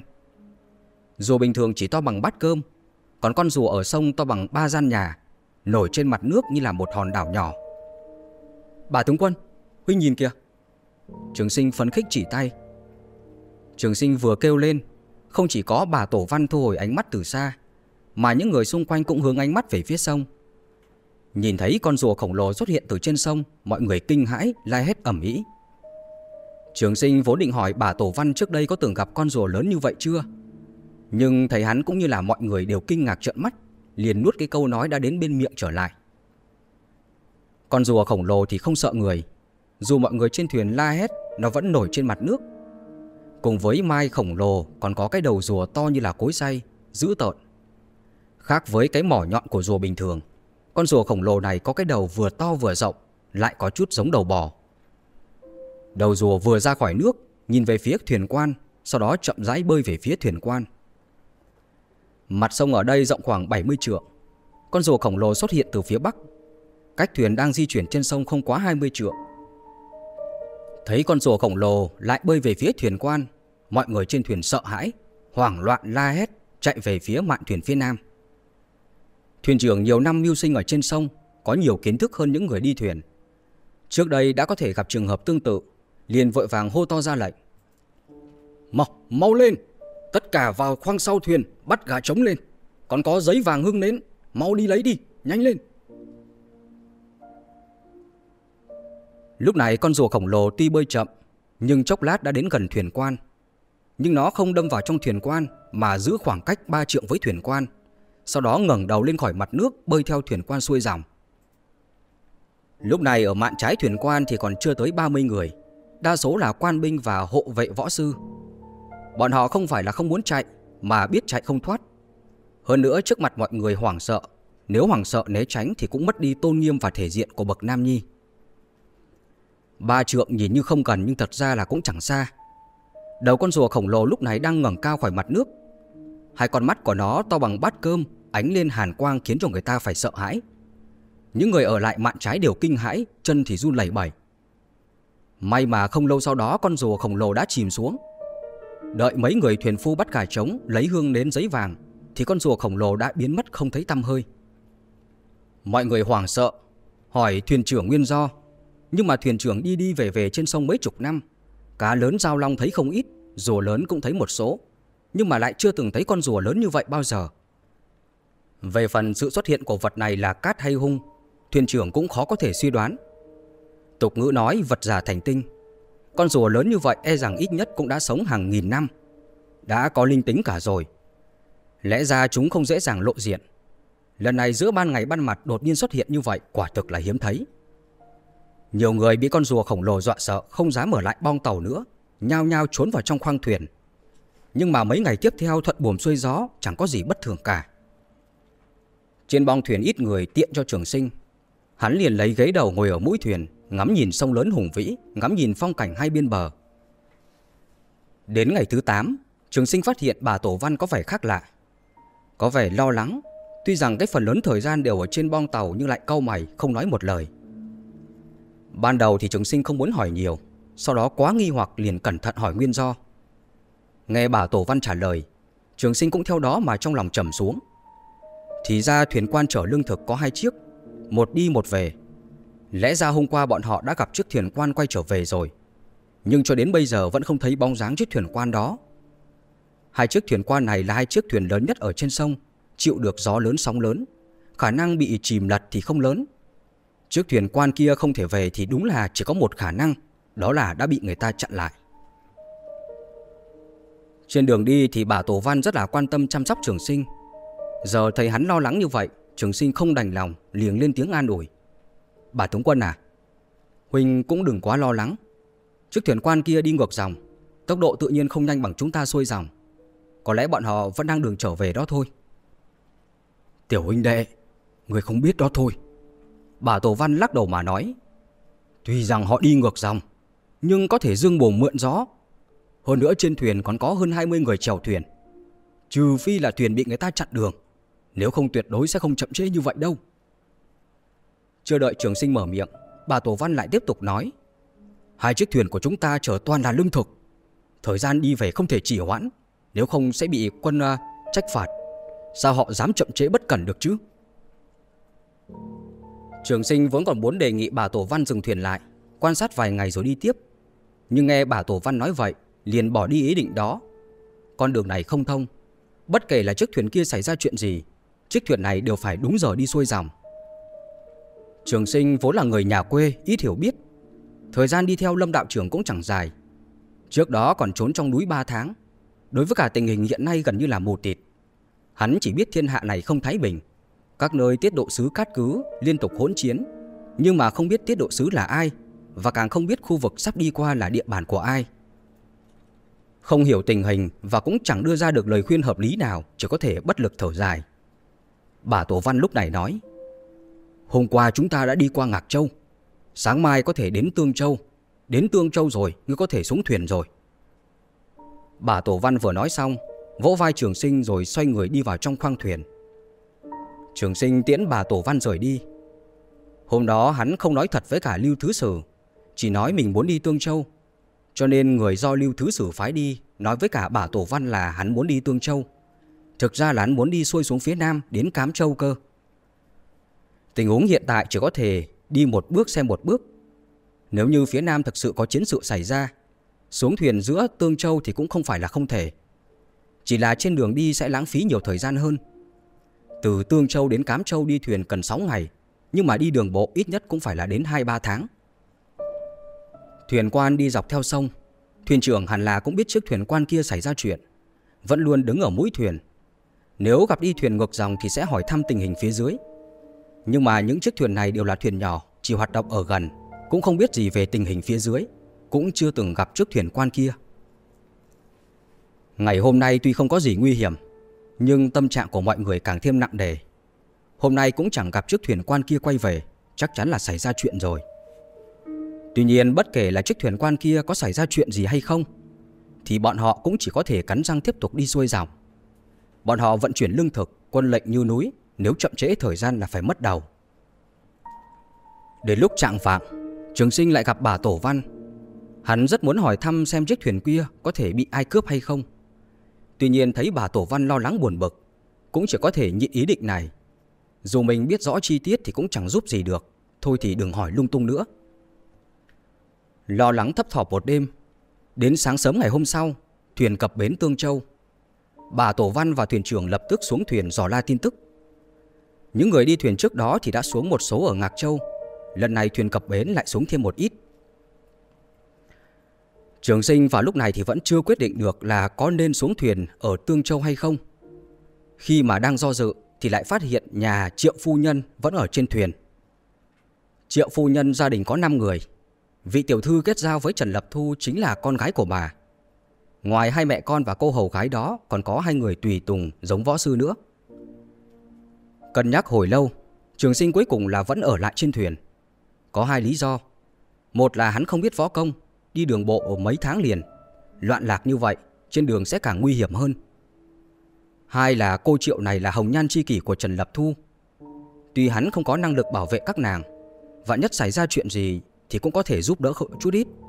Nếu không được thì cũng có thể là biết triệu cô nương ra sao. Cho đến giờ thìn, bà Tổ Văn và thuyền trưởng trở về Mãi cho đến khi mà nhổ neo ra khơi Bà Tổ Văn mới phát hiện trường sinh không xuống thuyền Ơ kìa Tiểu huynh đệ Sao người còn ở trên thuyền thế này? À ta thay đổi hành trình, Muốn đi Cám Châu. Trường sinh nói rồi lại hỏi À này bà tướng quân, Có tin tức gì về chiếc thuyền đó hay không? Bà Tổ Văn lắc đầu mà nói, Vẫn bật vô âm tín. Hai chiếc thuyền của chúng ta không thuộc quyền quản lý của Tương Châu. Hành tung của chúng ta thì họ cũng chẳng quan tâm. Nhưng mà theo bọn họ nói thì phía hạ du hình như là không có chiến sự xảy ra thì phải. Không có chiến sự xảy ra ư? Vậy thuyền đó bị ai chặn lại nhỉ? Trường sinh truy hỏi. Bà Tổ Văn xua tay bà nói. Chỉ cần không có chiến sự xảy ra, như vậy thì cũng bớt lo lắng lắm rồi. Ta sợ nhất là quân phản loạn làm loạn. À, thủy phỉ bình thường thì không dám động đến thuyền quan. Có lẽ thuyền đó chỉ bị mắc cạn hư hỏng, đang ở đâu đó sửa chữa mà thôi. Nghe bà Tổ Văn nói như vậy, trường sinh yên tâm hơn. Trong lòng hắn căng thẳng, đêm qua cũng chẳng ngủ được mấy. Sau khi bà Tổ Văn rời đi, hắn liền trở về phòng nằm nghỉ ngơi. Lại nói thời tiết vào lúc này rất là nóng. Sau bữa cơm trưa, trường sinh đến chỗ dâm mát ở mạn thuyền. Trên thuyền có không ít ghế đầu. Hắn lấy một cái, ngồi trên ghế đầu hóng gió. Lúc này trên thuyền ngoài quan binh và người chèo thuyền, người đi trên thuyền cũng chỉ chưa tới 30 người. Những người này đều đi cám châu, trong đó có cả gia đình nhà triệu phu nhân. Trên đường sông lớn thì có không ít nhánh sông rẽ ra, còn có sông chảy vào sông lớn, có nhánh sông thì lại phân ra từ sông lớn ra chỗ khác. Đến giờ thân buổi chiều, phía trước xuất hiện hai nhánh sông. Hai nhánh sông này đều là do sông lớn phân ra, một nam một bắc. Vì có nhánh sông phân nước, dòng nước của sông lớn không có chảy xiết như là thượng nguồn. Ở chỗ phân lưu của hai nhánh sông có mấy chiếc thuyền con đang thả lưới bắt cá. Thấy thuyền quan từ trên thượng nguồn xuôi dòng xuống, mấy chiếc thuyền quan rời khỏi nhánh sông trèo nhanh về phía thuyền quan. Trường sinh đang đứng ở trên cao, là người đầu tiên phát hiện ra tình hình có gì đó không ổn, liền vội vàng chạy về khoang thuyền hô to báo động. Bà tướng quân, có mấy chiếc thuyền nhỏ đang đến gần chúng ta đó. Bà Tổ Văn mấy ngày nay cũng không nghỉ ngơi tốt, lúc này là đang nghỉ ngơi trong khoang thuyền. Nghe thấy tiếng của trường sinh báo động liền vội vàng đứng dậy đi ra, xông ra khỏi khoang thuyền. Thấy mấy chiếc thuyền nhỏ kia có vẻ khả nghi, bà Tổ Văn lập tức hô to ra hiệu lệnh, triệu tập quan binh áp tải lương thực ra cảnh giới. Nhưng chưa kịp để cho quan binh áp tải lương thực chạy hết ra khỏi khoang thuyền Thì một người đột nhiên nhảy ra từ một chiếc thuyền nhỏ Lướt trên sóng nước rồi lao nhanh về phía trước thuyền quan Tuy giang hồ nhân sĩ đa phần đều có khinh công Nhưng mà muốn luyện đến mức độ lướt ở trên sông như vậy thật là không dễ dàng Không thể nghi ngờ gì nữa Người này chắc chắn là cao thủ Hả? Là người của cái bang Trường sinh sợ hãi Tuy không biết người đến là ai nhưng hắn nhận ra trang phục của người đó. Đệ tử cái bang đều có nhiều miếng vá màu vàng ở trên ngực. Do khoảng cách quá xa, hắn không thể đếm được có bao nhiêu miếng vá ở trên ngực người đó, chỉ có thể lờ mờ nhìn thấy là có không ít. Người đó lướt ở trên sóng nước, trong chốc lát thì đã đến gần thuyền quan, mượn lực từ trên thân thuyền xoay người nhảy lên bong thuyền thứ hai. Người này dường như là biết bánh lái nằm ở tầng 2. Sau khi nhảy lên bong thuyền, liền rút kiếm ra khỏi vỏ xông vào trong khoang lái. Những chuyện tiếp theo thì trường sinh không nhìn thấy. Nhưng mà chưa kịp để cho bà Tổ Văn và những người khác xuống tầng 2 thì thuyền quan đã bắt đầu chuyển hướng giảm tốc độ. Thuyền quan vừa chậm lại, mấy chiếc thuyền nhỏ khác thừa cơ đến gần. Mỗi chiếc thuyền nhỏ đều có hai đệ tử cái bang, một người giả làm ngư dân, một người trốn ở trong bui thuyền. Đợi đến gần thuyền quan rồi, đệ tử cái bang trốn dưới mui thuyền thi triển khinh công lên thuyền. Những người này sau khi mà lên thuyền thì lập tức đánh nhau với cả bà Tổ Văn và những người khác. Tiếng kêu thảm thiết vang lên khắp cả bong thuyền. Trường sinh vốn ghét nhất là đệ tử cái bang và cũng sợ nhất là đệ tử cái bang. Đám người này không việc ác nào mà không làm, việc gì cũng dám làm cả. Sự việc xảy ra đột ngột như vậy, hắn không dám chắc là đám đệ tử cái bang này có phải đến là vì hắn hay không. Hắn biết bơi, dòng nước ở đây khá chậm, nhảy xuống sông hắn cũng không thể chết đuối. Tuy nhiên đám đệ tử cái bang này lại chèo thuyền tới. Cho dù hắn có nhảy xuống nước đi nữa Thì bọn họ cũng có thể chèo thuyền bắt được hắn. Ngay khi mà trường sinh đang do dự Thì một tên đệ tử cái bang từ tầng 2 Nhảy lên bong tàu tầng thứ ba. Thấy một người đầu chọc cầm gậy đứng ở trước mặt mình Cứ tưởng là hòa thượng Vừa lên đã cho trường sinh một cái bạt tai. Mẹ kiếp Tăng lùn nào đây? Thật là xui xẻo mà. Cái tát này của đối phương là dùng sức. Trường sinh trực tiếp bị đánh ngã xuống đất. Tên đệ tử cái bang cũng chẳng để đến hắn Đi thẳng vào trong khoang thuyền. Hành khách ở trên thuyền đa số là người nhà quan lại. Có không ít võ sư đi theo. Thấy có giặc cướp lên thuyền à, Liền rút ra binh khí ngăn cản. Nhưng mà tên đệ tử cái bang này thì võ công khá cao. Một đường chém giết vào trong Vậy mà không ai là đối thủ của hắn. Tuy cái bang số lượng ít hơn nhưng người đều là cao thủ. Quan binh tuy đông nhưng hoàn toàn không phải đối thủ của bọn họ. Chỉ trong chốc lát đã bị bọn chúng chém giết. Đệ tử cái bang sau đó chia làm hai đường. Mấy người khống chế lái thuyền, ra lệnh cho hắn lái thuyền quan vào nhánh sông phía bắc. Mấy người khác thì lên tầng 3 Lùa người ở trong khoang ra bong tàu, Cướp đoạt tiền bạc của cải mang theo bên mình Trong số những người đi thuyền cũng có nam giới Có một ông lão thấy đám người cái bang cướp bóc làm ác Liền chống gậy đi lên. Cái lũ giặc cỏ to gan kia Các người có biết ta là ai hay không hả? Lão tử đếch tấn biết Lão già lắm mồm. Bụp. Một tên đệ tử cái bang liền vung đao, Trực tiếp chém bay đầu ông lão. Thi thể của ông lão ngã xuống thì không xa trường sinh. Sau khi phần đầu bị chặt đứt, Máu ở trong người phun ra hơn năm thước, Không lệch một phân mà phun đầy đầu, đầy mặt của trường sinh. Những nữ quyến được nuông chiều từ bé Đâu thấy cảnh tượng đậm máu như vậy bao giờ, Trong lòng kinh hãi, la hết thất thanh. Cấm miệng! Một tên đệ tử cái bang trừng mắt quát mắng, Còn dám kêu là giết ngay lập tức! Bị quát mắng như vậy, Mọi người không dám lên tiếng nữa. Mấy tên đệ tử cái bang cầm lưỡi dao sắc bén, Lục soát tiền bạc của từng người. Đến lúc này thì trường sinh đã biết đám đệ tử cái bang này không phải đến vì mình. Mà là vì cướp lương thực ở trên thuyền và tiền bạc của hành khách. Chiếc thuyền quan kia chắc hẳn là cũng bị bọn họ cướp bóc. Ngay lúc này thì một đệ tử cái bang đến gần. Sau khi lục soát hết tiền bạc của một bà lão, Thấy hòa thượng bị mình đánh ngã lúc nãy đang lau vết máu trên mặt, Trong lòng cảm thấy chán ghét, Liền trực tiếp tung một cước đá trường sinh xuống thuyền. Cú đá này của tên nọ thì mạnh mẽ, Trường sinh suýt nữa ngất đi. Mãi cho đến khi rơi xuống nước, Bị nước sông lạnh lẽo kích thích thì mới tỉnh lại. Hắn biết bơi, Sau khi rơi xuống nước lại là mặt ngửa lên trên. Lo lắng tên đệ tử cái bang trên thuyền nhỏ gần đó đến giết hắn Hắn liền cứ thế mà bất động, nhắm mắt giả chết. Thuyền quan dưới sự điều khiển của đệ tử cái bang đổi hướng sang hướng bắc, Còn trường sinh cứ như vậy mà trôi thẳng xuống hạ lưu. Đợi đến khi mà cách thuyền quan xa xa rồi, Trường sinh mới lật người lại, Đạp nước nhìn xa. Thuyền quan đã đi vào nhánh sông phía bắc. Những chiếc thuyền nhỏ cũng theo đó mà rời đi. Lúc này đây hắn đang ở giữa sông, Dòng nước không chảy xiết lắm.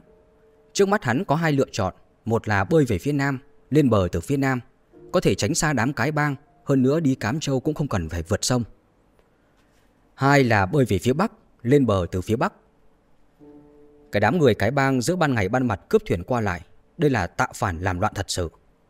Cái bang tuy không việc ác nào không làm Nhưng mà không có gan công khai tạo phản Hơn nữa bọn họ đều là không bịt mặt che giấu thân phận Điều này cho thấy rằng bọn họ căn bản không định để lại người sống Giết hết Tin tức sẽ không để lộ ra ngoài sau khi suy nghĩ nhanh chóng, Trường Sinh liền bơi về phía bắc.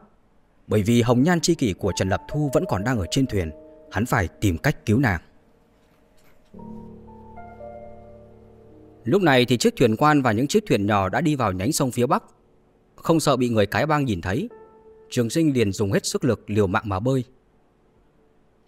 Nhưng tuy hắn biết bơi, trước đây cũng chỉ là bơi ở ao, ở hồ, mà nước sông sâu hơn cả nước ao hồ dòng nước cũng chảy xiết hơn. Dưới sự sâu đầy của nước sông, hắn không thể trực tiếp bơi vào bờ mà là bị nước sông quấn trôi xuống hạ lưu. Nơi đây là một vùng nước phân lưu của sông, mặt nước rộng hơn, nước sông cũng tương đối không chảy xiết lắm. Nhưng ba dặm phía hạ du là thung lũng dốc. Đến đó thì nước sông lại tụ lại, nước chảy xiết đáng sợ. Hơn nữa hai bên bờ là vách đá dựng đứng. Nếu như bị nước sông cuốn đến đó, sẽ không còn khả năng lên bờ nữa trôi theo dòng nước e rằng đến tính mạng cũng không thể giữ được. Cảm nhận được sự nguy hiểm đến tính mạng, trường sinh tay chân cùng sử dụng, liều mạng mà bơi. Dùng hết sức lực cuối cùng cũng bơi được vào bờ phía bắc. Địa thế nơi đây tương đối là bằng phẳng, còn năm trượng phía hạ du là vách đá cao phủ đầy rêu xanh. Sau khi bám vào cành cây ven nước leo lên bờ bắc, trường sinh đã kiệt sức hoàn toàn, toàn thân mềm nhũn. Nhưng hắn không kịp lấy lại sức Vội vàng lật đoàn cành cây ngô đồng vẫn luôn nằm ở trong cánh tay lại Sau đó kiểm tra xem có bị thấm nước hay không Thấy chỗ bịt kín Trường sinh lúc này mới thở vào nhẹ nhõm Nhưng ngay sau đó hắn lại nghĩ ở bên trong áo lót của mình còn có cất một phong thư Phong thư này chính là của Lâm Đạo trưởng trước khi Lâm Trung giao cho hắn, Nhờ hắn giao cho La Thuận Tử, Trụ trì của các Tảo Sơn. Lo lắng thư bị nước sông làm ướt, Trường sinh liền vội vàng lấy phong thư đó ra. May mắn quá, Lâm đạo trưởng cẩn thận, Suy nghĩ chu toàn, Nên là vỏ ngoài của thư dùng giấy dầu chống thấm gấp lại, Bên trong không bị thấm nước. Sợ thuyền quan đi xa, Trường sinh cũng không dám thở thêm, Cất thư xoay người định đi. Hắn vừa xoay người đã trực tiếp bị dọa Cho một thân mồ hôi lạnh. Một con rắn độc dài hơn 5 thước Đang leo lên cành cây cách đó 3 thước. Con rắn độc đã bị kinh động. Nó đang lè lưỡi rắn ra, Bất cứ lúc nào cũng có thể cắn người. Kinh hồn chưa hết Thì đột nhiên phát hiện ở trong bụi cỏ bên trái Cũng có rắn độc đang nằm cuộn tròn, Hơn nữa không chỉ là một con. Lại nhìn sang bên phải, Suýt nữa bị dọa chết. Một con chăn khổng lồ màu đen đang cuộn tròn bên bờ nước. Cũng vì đang quặn tròn nên là không biết rốt cuộc dài bao nhiêu. Nhưng nằm ở đó còn lớn hơn cả cái cối xay bằng thóc ở trong làng nữa. Trường sinh là lần đầu tiên trong đời nhìn thấy con chăn lớn như vậy. Trong nháy mắt sống lưng lạnh toát, Lông tơ dựng đứng. Con rắn này tại sao lại lớn như vậy? Sao ở đây lại có nhiều rắn và chăn như vậy? Cô nén lại sự kinh hãi, Sau đó suy nghĩ nhanh chóng. Rất nhanh hắn đã hiểu ra nguyên nhân trong đó. Hắn lúc này đang ở giữa Tương Châu và Cám Châu. Nơi đây thuộc về phương Nam Phương Nam ấm áp, ẩm ướt, Rắn rết tự nhiên là lớn hơn phương Bắc Còn về phần tại sao ở đây lại có nhiều rắn như vậy Thì cũng không khó hiểu Vị trí mà hắn đang đứng nằm ở chỗ phân lưu của sông lớn và nhánh sông. Hai bên Nam Bắc đều là nước. Những khu vực gần nước như thế vậy thì là nơi yêu thích của rắn rết. Nếu là người khác thì e rằng lúc này đã sớm sợ đến tê liệt. Trường sinh tuy rằng không bị dọa đến tê liệt nhưng mà cũng là lông tơ dựng đứng, cả người run rẩy. Trong tầm mắt có thể nhìn thấy 7-8 con rắn độc lớn nhỏ. Những nơi không nhìn thấy thì có thể nhiều hơn nữa. Nhưng lúc này hắn đã không còn đường lui nữa dù kinh hãi, sợ hãi thì cũng chỉ có thể cắn răng đi về phía trước. Ở trong cành cây ngô đồng còn giấu một viên thuốc giải độc, vạn nhất bị rắn độc cắn thì cũng không đến nỗi bị trúng độc mà chết. Lúc này đi nhất định là phải đi rồi, nhưng mà nên đi như thế nào đây? Là từng bước từng bước đi về phía trước hay là cứ thế xông qua? Sau khi cân nhắc cẩn thận, Trường Sinh chọn cách thứ hai. Lý do đơn giản thôi. Màu sắc của những con rắn độc này rất giống với cả cây cỏ, Vạn nhất là có con không bị phát hiện Đi chậm lại càng cho chúng cơ hội ra tay Chỉ bằng cứ liều mạng xông lên phía trước Biết đâu chạy nhanh hơn một chút Rắn độc bị kinh động cũng chẳng kịp há miệng Đã quyết định như vậy Nhưng khi bước chân thì lại phát hiện Hai chân như là bị đổ trì vào vậy Nặng trịch Thực ra cũng không thể trách hắn nhát gan được Tình huống như vậy thì ai cũng sẽ sợ Kinh hồn bạt vía thôi Hít một hơi thật là sâu Lấy hết can đảm cắn răng liều mạng cuối cùng cũng xông ra ngoài. Chạy chưa được ba trượng, Trường sinh đã phát hiện mình đánh giá thấp tốc độ phản ứng của những con rắn độc này rồi. Chân trái của hắn đã bị cắn một cái.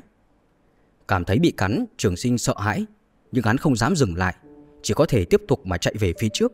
Vừa chạy vừa lật cành cây, muốn lấy viên thuốc giải độc ở bên trong ra. Ngay lúc này liếc mắt một cái, Trường sinh đột nhiên phát hiện phía trước có một cây thực vật màu xanh lá, cây kết hạt màu đỏ. Nhìn kỹ lại thì một cây có 7 chiếc lá. Trong nháy mắt nghĩ ngay đến cây thất diệp nhất chi hoa được ghi lại trong sách Thiên Kim Ích Phương. Những nơi có rắn độc thường sẽ có thảo dược giải độc. Thất diệp nhất chi hoa chính là vật giải độc. Thứ này có tác dụng rất lớn đối với cả vết rắn độc cắn. Nghĩ đến đây chạy như bay đến, rồi cầm lấy những hạt màu đỏ đó nhét vào trong miệng. Quả của thất diệp nhất chi hoa thì đáng kinh khủng, nhưng trường sinh nào để ý đến những thứ đó Vội vàng nắm mấy nắm rồi nhét vào trong miệng Rồi lại nhổ cả rễ của mấy cây thất diệp nhất chi hoa lên Vừa chạy vừa nhét lá vào trong miệng. Rắn độc há miệng thì nhanh như chớp. Cho dù trường sinh chạy qua như bay Nhưng mà chúng cũng kịp há miệng. Chỉ chạy được mấy chục trượng Trường sinh đã không đếm được mình bị cắn bao nhiêu lần nữa. Hắn chỉ biết cảm giác bị à, rắn độc cắn Thì giống như là bị người ta dùng dùi đâm vào vậy Tuy nhiên so với rắn độc thì trường sinh càng sợ chăn hơn. Những con chăn ở bên bờ nước thì thực sự quá lớn, nuốt chửng hắn cũng có thừa. Nhưng may mà những con chăn đó thì gan không lớn, sau khi bị kinh động cũng chẳng đuổi theo. Ngược lại thì những con rắn độc nhỏ hơn lại hung dữ dị thường. Một con rắn độc toàn thân màu đỏ như lửa sau khi cắn một cái lại không chịu buông tha, cứ như vậy mà đuổi theo không ngừng. Rất nhanh trường sinh lại cảm thấy tê dại Tuy rằng những bộ phận bị cắn đa phần tập trung ở chân và tay, nhưng nơi đầu tiên cảm thấy tê dại lại là mặt. Nhưng điều này không có nghĩa là chân tay hắn không tê, chỉ là những bộ phận đó không nhạy cảm như là da mặt mà thôi. Bộ phận có dược tính mạnh nhất của thất diệp nhất chi hoa chính là thân rễ.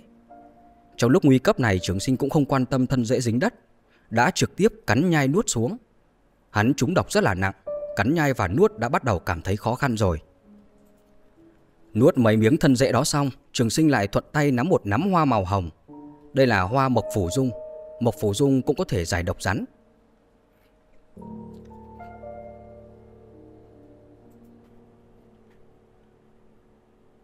Không biết đã chạy bao lâu, trường sinh cuối cùng cũng không cảm thấy đau nữa. Nhưng hắn không chắc mình không cảm thấy đau là do độc phát tê liệt hay là do nơi này đã không còn rắn độc nữa. Đến đây thì trường sinh dừng lại. Nếu như là vế sau thì tự nhiên là tốt nhất rồi. Nhưng nếu là vế trước thì càng không thể chạy được nữa, phải lập tức uống thuốc giải độc ngay. Dừng lại nhìn xung quanh, phát hiện xung quanh đã không còn rắn độc. Nhìn xa hơn, thì ra mình đã chạy đến nơi địa thế cao hơn, cách bờ sông gần nước đã rất là xa rồi. Tiếp tục nhìn về phía xa hơn nữa. Cuối cùng thì hắn cũng nhìn thấy chiếc thuyền quan đó. Do nước ở trên nhánh sông cạn, tốc độ di chuyển của thuyền quan không nhanh. Trường sinh vội vàng nhét mấy bông hoa phù dung cầm ở trong tay vào trong miệng, cố gắng nhai nuốt. Sau đó đặt đoạn cành cây ngô đồng trước mặt. Nhưng hắn không vội đập vỡ cành cây mà ngồi dưới một gốc cây lớn bắt đầu kiểm tra vết thương, ấn bóp giải độc. Thuốc giải độc chỉ có một viên, không đến vạn bất đắc dĩ hắn không đỡ dùng. Trước đó hắn đã nuốt không ít thảo dược giải độc. Nếu thảo dược có thể chịu được, viên thuốc giải độc đó có thể để dành đến lúc nguy cấp hơn. Lúc này thì những vết thương đó đều đang dỉ máu. Tay áo và ống quần đều là vết máu loang lổ lẫn với nọc độc. Để tiện cho việc nặn nọc độc còn sót lại, Trường sinh liền cởi quần áo, từng cái một ấn bóp. Không có gì lau máu độc chảy ra, chỉ có thể dùng quần áo cởi ra thôi. Sau khi lau vài chỗ, Trường sinh đột nhiên nảy ra một ý. Những máu độc này chứa kịch độc. Hắn thì lại không biết võ công. Muốn cứu triệu cô nương và những người khác thì cũng chỉ có thể nghĩ cách hạ độc đám ác tặc cái bang kia mà thôi. Nghĩ đến đây lần lượt nặn vết thương, dùng quần áo để mà thấm hút máu độc. Hắn không phải là dùng à, cả bộ quần áo để mà thu thập máu độc, mà chỉ dùng vạt áo dưới. Lúc bị rắn độc cắn vào vạt áo thì đã dính rất nhiều độc độc. Dùng vạt áo thấm hút máu độc có thể giữ lại độc tính tối đa. Mặc dù đã nặn hết máu độc còn sót lại ở vết thương, nhưng cũng không thể ngăn cản được độc phát công tâm. Ngoài toàn thân tê liệt, Trường sinh lúc này còn cảm thấy khó thở nữa. Hắn tức ngực buồn nôn, cố gắng chịu đựng một lúc, cảm thấy đầu váng mắt hoa, bất cứ lúc nào cũng có thể ngất đi. Cho đến lúc này thì hắn không dám chờ đợi nữa. Liền cầm đá muốn đập vỡ cành cây, sợ làm hỏng những viên thuốc khác, liền ném đá đi, sau đó lấy con dao găm dùng để đẽo cành cây lúc trước, cạnh thanh gỗ dùng để bịt lỗ cành cây ra. Thứ đầu tiên rơi ra chính là miếng vải vàng mà Lý Trung Dung đã tặng hắn ngày đó. Sau đó thì mới tới mấy viên thuốc. Khi mà tìm được viên thuốc giải độc màu xanh nhạt đó, hắn đã sắp không thể thở nổi rồi. Hắn nào dám chậm trễ nữa, lập tức bóp vỡ niêm phong sáp, sau đó mở miệng nuốt vào. Thuốc vừa vào bụng thì lập tức có tác dụng. Chỉ trong nháy mắt thì trường sinh đã thoát khỏi cảm giác mơ hồ đó. Một lúc sau thì hô hấp thông suốt, tê liệt giảm bớt. Lo lắng cho sự an nguy của triệu cô nương, Trường sinh cũng không dám lười biếng chậm trễ. Chưa đợi dư độc hết hẳn thì đã cố gắng đứng dậy, nhét số thuốc còn lại vào chỗ cũ niêm phong lại. Sau đó hắn mặc quần áo rồi leo lên chỗ cao hơn để mà quan sát. Chỗ cao tương đối là khô giáo, ít rắn rết. Một lát sau trường sinh leo lên đến sườn núi. Từ đây hắn có thể nhìn rõ chiếc thuyền quan đó đang chậm rãi di chuyển về phía đông bắc. Nhóm người trên bong tầng thứ ba thì vẫn như cũ, cũng do khoảng cách quá xa, Không thể nhìn thấy trong đám người có triệu tiểu thư hay không. Thuyền quan chậm rãi di chuyển dưới nước, Còn trường sinh vội vã đi theo trên bờ, Đồng thời cũng đang suy nghĩ nhanh chóng. Hắn không biết đám ác tặc cái bang đó muốn cướp thuyền quan đến đâu, Nhưng biết càng trì hoãn thì triệu cô nương càng thêm nguy hiểm. Nàng quá xinh đẹp, Vạn nhất như là những tên ác tặc đó nảy sinh tà dị niệm, Triệu tiểu thư thì sẽ là người đầu tiên gặp nạn hơn nữa số lượng ác tặc cái bang cướp thuyền quan không nhiều. Bọn chúng rõ ràng là nhắm vào lương thực ở trên thuyền. Muốn chuyển hết hơn nghìn gánh lương thực này đi Thì người tiếp ứng chắc chắn là không ít. Một khi mà để hai bên gặp nhau Muốn cứu người thì chắc chắn là khó khăn hơn nữa. Tình hình cấp bách quá Phải nhanh chóng ra tay. Nhưng lúc này là giờ mùi buổi chiều.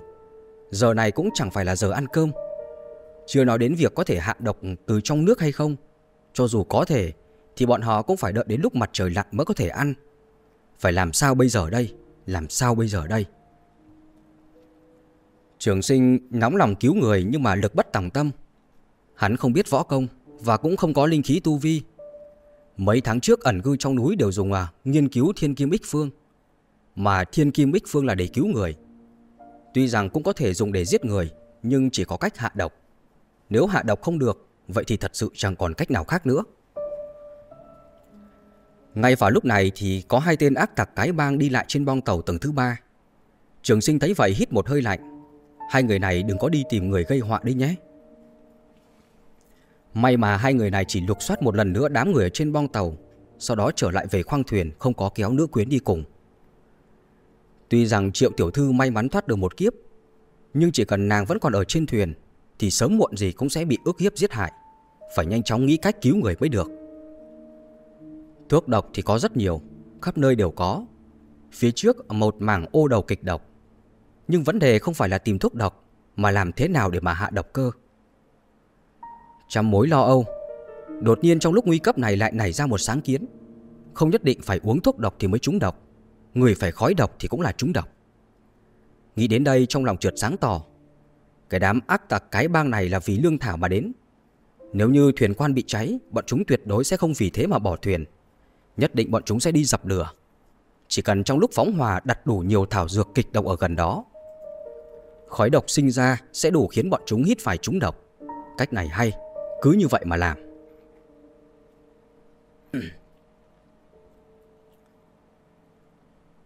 Lại nói thì thuốc độc thì có sẵn. Ô đầu là kịch độc, Trước mắt đang có một mảng lớn. Thiên kim ích phương trường sinh đã thuộc lòng.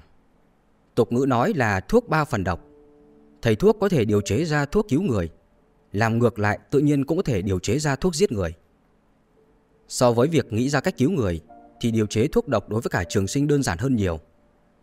Không xa còn có mấy cây lôi công đằng. Thứ này cũng là kịch độc, Trực tiếp bẻ gãy dùng để buộc ô đầu đã nhổ là được. Nhổ hết ô đầu rồi buộc lại, Đủ hai bó lớn, Hai tay sách rồi tiếp tục đi về phía trước. Khu vực này có nhiều côn trùng độc, Ngày thường ít người đến ngay cả người hái thuốc dường như cũng không đến đây. Khắp khắp nơi đều có thể thấy các loại thảo dược. Đi được mấy chục trượng thì gặp mấy cây thực vật nở hoa màu xanh lam. Thứ này không phải là cát cánh, Mà là thứ kịch độc tuyết thượng nhất chi cao. Thứ này chính là kịch độc trong các loại kịch độc. Lớn nhỏ tổng cộng là 5 cây, Tất cả đều nhổ mang đi hết. Mà thuyền quang là từ dưới nước đổi hướng sang phía bắc. Trường sinh thì cần phải đi vòng từ bờ nam như vậy đường đi sẽ vô duyên vô cớ nhiều hơn không ít. Để nhanh chóng đuổi kịp trước thuyền quan đó Trường sinh vẫn luôn xông pha trong núi cố gắng mà chạy. Trong lúc chạy thì cũng không ngừng tìm kiếm các loại thảo dược. Nhưng lần này hắn không tìm phải là kịch độc Mà là những loại thảo dược khác có thể làm giảm độc tính. Lôi công đằng, ô đầu, tuyết thượng nhất chi cao. Ba loại độc thảo này thì không xung khắc với nhau. Không xung khắc thì sẽ cộng dồn. Mấy bó độc thảo này một khi mà gặp lửa đốt Khói độc tỏa ra có thể trực tiếp giết người. Nhưng mà trên thuyền thì ngoài ác tặc cái bang còn có người chèo thuyền và những người bị bắt cóc, Không thể để bọn họ cũng bị chết độc được. Cứ như vậy mà chạy loạn choạng 4 năm dặm liền. Cuối cùng thì cũng kéo gần khoảng cách xuống khoảng 2 dặm. Nhưng mãi đến lúc này trường sinh vẫn chưa tìm được thuốc để có thể giảm độc tính. Sở dĩ hắn không tìm được không phải là vì không gặp, Mà là hắn vẫn chưa nghĩ ra là nên tìm loại thuốc nào. Chính xác hơn là hắn chưa nghĩ ra loại thuốc cần tìm à, nên có đặc tính nào. Nói thì có vẻ phức tạp như vậy, nhưng mà thực ra cũng rất là đơn giản. Phóng hòa từ trên thuyền khói độc sẽ bay lên cao, rất khó không làm hại những người khác ngoài ác tặc. Mà những tên ác tặc cái bang đó đều là người luyện võ, có linh khí tu vi. Bọn chúng chịu được độc tính hơn những người chèo thuyền và hành khách. Nếu giảm đi độc tính, tuy rằng có thể bảo toàn cho những người khác trên thuyền, nhưng cũng không thể giết chết những tên ác tặc cái bang đó được. Muốn tìm ra mấy vị thuốc giải thì cũng rất là đơn giản. Nếu tất cả mọi người đều trúng độc, thì hắn không thể chỉ cứu nhà triệu cô nương mà không quan tâm tới những người khác trên bong được. Nhưng hắn lại không có năng lực nhiều như vậy và cũng không có thời gian cứu tất cả mọi người. Nhân lúc thở dốc thì trường sinh suy nghĩ nhanh chóng. Sau một hồi trầm ngâm thì cuối cùng hắn cũng nghĩ ra một cách. Đúng rồi, là tê liệt làm tê liệt chân tay. Tìm cách để mà khói độc do đốt độc thảo chỉ khiến cho người ta bị tê liệt chân tay chứ không làm hại tính mạng của họ. Bất kể việc gì khó nhất thì vĩnh viễn không phải làm cụ thể như thế nào, mà là trước khi bắt tay vào làm phải xác định được mục tiêu cuối cùng. Chỉ có mục tiêu rõ ràng, tiếp theo mới có thể từng bước có kế hoạch để mà thúc đẩy thực hiện. Sự chăm chỉ và kiên trì mà không có mục tiêu rõ ràng thì giống như là con ruồi không đầu loạn xạ, chẳng có ý nghĩa gì hết. Uy linh tiên, kiểu tiết phong. Hai loại thảo dược này có thể thay đổi độc tính của ô đầu. Vừa giảm độc tính vừa có thể tạo ra hiệu ứng tê liệt. Nhưng hai loại thảo dược này thì không mọc ở gần đây. Vậy thì dùng tiên mao và nghiêu cân thảo thay thế. Tiên mao và nghiêu cân thảo cộng thêm cả nọc rắn mà thu thập được trước đó Thì có thể tạo ra hiệu ứng giống như là kiểu tiết phong. Cuối cùng thì hắn hái một ít hoa màu xanh lam của tuyết thượng nhất chi cao để mà dự phòng. Thứ này tuy rằng xuất phát từ thảo dược kịch độc nhưng lại có tác dụng giải độc nữa. Làm xong những việc này rồi, tiếp theo chính là việc nguy hiểm nhất, lên thuyền. Lúc này đây thì những tên ác tặc cái bang ở trên thuyền nhỏ thì đã lên thuyền quan. Những chiếc thuyền nhỏ đó đều được buộc vào đuôi thuyền lớn. Có thể nghĩ cách leo lên thuyền nhỏ trước, sau đó bám vào dây thừng ở trên thuyền nhỏ để mà leo lên thuyền quan. Hai bên bờ nhánh sông nơi thuyền quan đang ở đều là rừng rậm. Trường sinh mượn cây cỏ che chắn, Chạy đến rừng cây bên phải thuyền quan. Sau đó dùng dao găm, Cắm vạt áo, dính nọc rắn, Nhét vào bó ô đầu. Đám mắc tặc cái bang kia đều có linh khí tu vi, Tay mắt tinh tường. Sợ bị bọn chúng phát hiện, Trường sinh không dám xuống nước quá sớm, Mà là kiên nhẫn đợi đến khi mà thuyền quan đi qua Thì mới lặn xuống nước, Kéo theo mấy bó thuốc bơi về phía thuyền nhỏ Sau phía thuyền quan. Đợi đến khi mà bám vào mạn thuyền trèo lên thuyền nhỏ rồi Trường sinh đã không còn chút sức lực nào nữa. Nhưng hắn không dám chậm trễ. Sau khi thở dốc một lát, Liền lật người ngồi dậy, Buộc thuốc lên người, Sau đó bám dây thừng leo lên. Đuôi thuyền thì không có người canh giữ. Một lát sau, hắn đã thuận lợi Và khó khăn leo lên được bong tàu tầng thứ hai của thuyền quan. Sau khi mà leo lên được bong thuyền, Việc đầu tiên trường sinh làm là cắt đứt sợi dây thừng buộc chiếc thuyền nhỏ vào đuôi thuyền. Chỉ để lại một chiếc thuyền nhỏ để mình chạy trốn sau này mà thôi. Hắn không biết những tên cái bang kia bây giờ ở đâu, Nên là không dám hành động thiếu suy nghĩ. Sau khi suy nghĩ liền vội vàng quyết định mạo hiểm đi vào trong khoang thuyền tầng thứ hai. Phần lớn khu vực tầng thứ hai là để chứa gạo. Khoang lái thì nằm ở mũi thuyền tầng 2 Nhà bếp thì nằm ở đuôi thuyền tầng thứ hai. Hắn đã đánh mất hộp quẹt, Hắn cần lửa và cũng cần dầu mỡ để đốt, Những thứ này chỉ có thể lấy từ nhà bếp mà thôi. Tiếp đó trường sinh cẩn thận, Rón rén đẩy cửa bước vào khoang thuyền cái thứ đầu tiên đập vào mắt hắn là một đống xác chết. Những xác chết này phần lớn là người chèo thuyền, Còn có mấy người phụ nữ làm bếp. Những người phụ nữ này đều là người già. Dù họ không có vũ khí, Cái đám ác tặc cái bang đó cũng chẳng tha cho bọn họ. Tất cả đều bị chém chết ở lối đi từ nhà bếp cho đến khoang giữa. Ngay tại khi mà trường sinh đang ngồi xổm bên cạnh xác chết tìm hộp quẹt, Thì từ giữa khoang thuyền, mơ hồ chuyển đến tiếng bước chân. Nghe thấy tiếng bước chân, Trường sinh sợ hãi. Cô nén căng thẳng trong lòng, Nhẹ nhàng bước vào trong căn phòng nhỏ chứa rau. Nhưng căn phòng nhỏ này không có cửa. Nếu có người đi qua đây, Nhất định sẽ nhìn thấy hắn. Trong lúc nguy cấp, chỉ có thể ngồi xồm ở góc, Lấy mấy bó độc thảo mang theo bên mình ra che chắn phía trước. Mấy bó độc thảo này tự nhiên cũng không thể che chắn hết được, Nhưng mà cũng tốt hơn là không có gì che chắn. May mà người đến không phải là vào bếp, Mà chỉ ở khoang giữa hô to đếm số hình như đang kiểm kê số lượng lương thực. Trường sinh thì đã từng nghe Trần Lập Thu và những người khác nói, Võ nhân có linh khí tu vi, Tay mắt sẽ linh mẫn hơn người thường. Sợ bị bọn chúng nghe thấy tiếng động lạ, Trường sinh thở ra, Chậm và hít vào cũng chậm, Ngay cả thở mạnh cũng chẳng dám. Lại nói thì lúc này có hai tên cái bang đi vào khoang giữa. Sau khi đếm sơ qua, Hai tên đó thì bắt đầu đi về phía khoang trước trên đường đi có người nói Thuyền này chờ toàn là gạo ngon. Nhiều gạo như vậy đều phải đưa cho Chu Toàn Trung sao? Tiếc nhỉ. Chứ sao nữa? Muốn đi đầu quân thì phải nộp lễ vật Không thể tay không mà đi được. Một người khác tiếp lời Ai, Lần này chúng ta làm hơi lớn đó Có thể che giấu được không đây? Người nói chuyện có vẻ lo lắng. Thì cứ theo kế hoạch mà làm Tuyệt đối không để lại người sống Ai mà biết được chứ? Tên kia an ủi.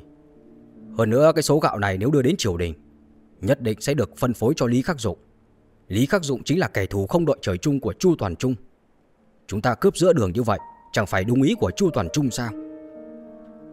Ai, Không biết tại sao. Nói thật là ta vẫn còn chút lo lắng đó. Giết nhiều người như vậy Nếu như là tin tức bị lộ ra ngoài Cái bang của chúng ta e rằng sau này sẽ chẳng còn chỗ đứng. Ngay cả người trong giang hồ Cũng đều sẽ khinh thường chúng ta mất. Mẹ kiếp ta nhổ vào. Nói như thể là người trong giang hồ coi trọng chúng ta lắm vậy. Người kia thuận miệng mà nói. Hơn nữa cái tên Lý Khắc Dụng đó đã tấu lên triều đình. Vu cáo chúng ta khởi binh à, tạo phản. Triều đình đã hạ lệnh điều tra nghiêm mật. Nếu chúng ta không ra tay trước E rằng sau này chết không có chỗ chôn đâu. Tiếp đó tiếng nói chuyện càng lúc càng nhỏ, Cho đến khi mà hoàn toàn không nghe thấy động tĩnh gì nữa, Không cần phải nói cũng biết Hai tên đó đã đi xa rồi. Đợi cho hai tên đó đi xa, Trường sinh mới từ chỗ ẩn nấp đi ra. Tìm thấy hộp quẹt ở trên người của một người phụ nữ làm bếp. Lại tìm thấy nửa thùng dầu mỡ dưới bếp, Mang theo mấy bó thảo dược lền vào khoang giữa. Gạo thì được đựng ở trong bao tải. Trường sinh đổ dầu mỡ lên bao tải, Lại xé thảo dược giải ra, Sau đó dùng hộp quẹt châm lửa đốt bao tải. Sau khi lửa lớn bùng lên, Trường sinh hoảng sợ. Trăm điều cẩn thận Lại quên nghĩ đường lui. Lát nữa bọn cướp nhất định sẽ đến cứu hòa Mình nên trốn ở đâu thì mới tốt đây. Trong lúc nguy cấp đó Thì trong đầu hắn chợt lóe lên một ý nghĩ. Liền à, nằm lăn lộn ở lối đi vào nhà bếp. Dính một thân máu me Lại bôi hai tay máu bôi lên đầu vào mặt. Cuối cùng hắn nằm sắp xuống đất nhà bếp Bắt đầu giả chết. Sau khi nằm xuống thì đột nhiên nhìn thấy trong bếp Có hai cái chum nước lớn. Trong chum có nước Sợ bọn cướp sẽ đến lấy nước để mà dập lửa. Hắn liền vội vàng bỏ dậy, Muốn đẩy đổ chum nước. Đẩy được một nửa, Thì đột nhiên nghĩ đến lúc này bọn cướp vẫn chưa phát hiện ra khoang giữa cháy. Vạn nhất như là chum nước vỡ phát ra tiếng động, Ngược lại sẽ làm kinh động bọn cướp. Nghĩ tới đây liền buông chum nước ra, Rồi chạy đến căn phòng nhỏ chứa rau Nằm sắp xuống giả chết. Bao tải là vật dễ cháy. Sau khi bà dưới dầu mỡ lên thì càng cháy tợn hơn. Lửa nhanh chóng bốc lên, Trong khoang giữa nhanh chóng đầy khói đặc. Trường sinh không lâu trước đó vừa mới uống thuốc giải độc, Dược hiệu vẫn còn chưa tan hết, Nên là không sợ trúng độc. Lửa lúc này càng lúc càng lớn, Đám mắc tặc cái bang trên thuyền cuối cùng cũng phát hiện ra khoang giữa đang bốc cháy, Liền vội vàng la hét từ khắp nơi đến cứu hỏa. Trường sinh lúc này đang nằm sắp ở trên mặt đất, Không thể nhìn thấy chuyện gì xảy ra. Chỉ có thể nghe thấy đám người cái bang đang chửi bới ở Mỹ Phần lớn là người chèo thuyền trước đó đã bị bọn chúng giết chết, Chỉ còn lại một số ít. Lúc này đám người cái bang nghi ngờ là bọn họ phóng hỏa, Liền chút giận lên bọn họ. Vừa thúc giục bọn họ dập lửa, Vừa tự mình ra tay dập lửa. Lối đi lúc này loạn thành một đoàn. Trường sinh vẫn kiên nhẫn nằm im bất động. Hắn không biết võ công lại kiệt sức. Chỉ cần có một thiên ác tặc cái bang không trúng độc, Thì hắn có thể sẽ mất mạng ngay lập tức. Cùng với sự hợp lực dập lửa của đám người cái bang và người chèo thuyền, Lửa khoang giữa dần dần nhỏ lại. Nhưng bao tải sau khi cháy thì rất khó dập tắt hoàn toàn. Nếu không dập tắt hoàn toàn thì vẫn sẽ có khói bốc lên. Rất nhanh thì trường sinh nghe thấy tiếng chửi rủa thúc giục của đám người cái bang. Hình như là có người chèo thuyền trúng độc ngã xuống. Đám người cái bang không hiểu tại sao Chỉ cho rằng bọn họ đang giả vờ Không khỏi chửi mắng một trận. Đợi đến khi mà có người trong đám ác tặc cái bang trúng độc ngã xuống Thì mới có người cảnh giác tỉnh ngộ Vội vàng hô to báo động cho đồng bọn. Không ổn rồi, khói độc, là khói độc, mau ra ngoài. Người này phát hiện quá muộn. Vị trí trường sinh nằm sấp là đuôi thuyền, Không có ai chạy ra từ đuôi thuyền. Theo là một loạt ngã xuống mềm nhũn, Khoang giữa nhanh chóng khôi phục lại sự yên tĩnh của nó. Nằm thêm một lúc nữa không thấy ai vào, Trường sinh lúc này mới bỏ dậy. Quay đầu nhìn khoang giữa, Chỉ thấy trong lối đi ngổn ngang nằm la liệt. Lửa lớn cũng đã được dập tắt, Chỉ còn lại tàn cho trên bao tài Rất khó bùng cháy lại. Những gì hắn có thể làm tất cả cũng chỉ có là vậy Nếu như vẫn còn có kẻ lọt lưới Như vậy chỉ là do số mệnh mà thôi Tình thế lúc này nguy cấp, hắn không dám chậm trễ do dự, liền vội vàng chạy ra khỏi nhà bếp đi đến bong tàu tầng thứ ba. Do ở vị trí cao, những người bị bắt cóc hít phải ít khói độc. Ngoài mấy người già yếu thì những người còn lại đều đang đứng. Mọi người, ta đã hạ độc bọn chúng rồi, các người mau chạy đi. Trường sinh nói lớn. Hắn thì cả người đầy máu, lại đột nhiên xuất hiện như vậy, mọi người trong lòng kinh ngạc không ai trả lời. Trường sinh cũng không quan tâm nhiều như vậy, liền bước nhanh đến gần triệu tiểu thư. Triệu cô nương, mau, mau theo ta nào. Lại nói thì triệu tiểu thư không có ấn tượng gì về trường sinh. Thấy hắn đột nhiên xông tới kéo mình thì bản năng lùi lại né tránh. Cô hầu gái ở bên cạnh thì gạt tay trường sinh ra. Là đứng chắn giữa hai người nói. Này, ngươi muốn làm gì vậy? Đương nhiên là cứu các ngươi rồi. Trường sinh vội vàng mà nói. Mau, mau theo ta đi. Muộn sẽ không kịp nữa đâu. Nhưng ngươi là ai? Tại sao lại muốn cứu chúng ta? Cô hầu gái truy hỏi. Ngươi sao lại có nhiều câu hỏi như vậy? Ta không có thời gian để giải thích với ngươi đâu. Đi hay không thì tùy. Không đi thì ở lại chờ chết đi. Trường sinh nói xong, lấy hoa xanh giải độc đã thu thập trước đó, để lại vài bông, số còn lại ném cho mọi người trên bong tàu. Mọi người nghe rõ đây, hoa này có thể giải được độc, các người mau chia nhau đi, muốn chạy trốn thì mau chạy đi. Ném hoa xong trường sinh xoay người bỏ đi. Đi đến đầu cầu thang xuống dưới Thì quay đầu lại nhìn Triệu Tiểu Thư và những người khác. Ta hỏi lại lần cuối Đi hay không? Triệu phu nhân và cô hầu gái không biết làm như thế nào Đều quay đầu nhìn Triệu Tiểu Thư. Trường sinh vắt óc suy nghĩ liều mạng thì mới hạ độc được cái đám ác tặc cái bang kia. Khó khăn lắm thì mới có được cơ hội ngắn ngủi này. Nếu như Triệu Tiểu Thư vẫn còn do dự Vậy thì chứng tỏ nàng là một người phụ nữ không phân biệt thiện ác không biết nặng nhẹ nông sâu.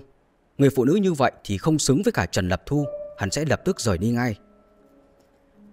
Cũng may mà Triệu Tiểu Thư không bỏ lỡ cơ hội tốt. Sau khi suy nghĩ một chút liền chạy về phía của trường sinh. Triệu Phu Nhân và cô hầu gái cũng đi theo. Lúc này thì mọi người trên bong tàu phần lớn là đang tranh giành hoa xanh giải độc. Có người phát hiện trường sinh muốn đi liền vội vàng hét lớn hỏi. Này, ngươi đừng đi.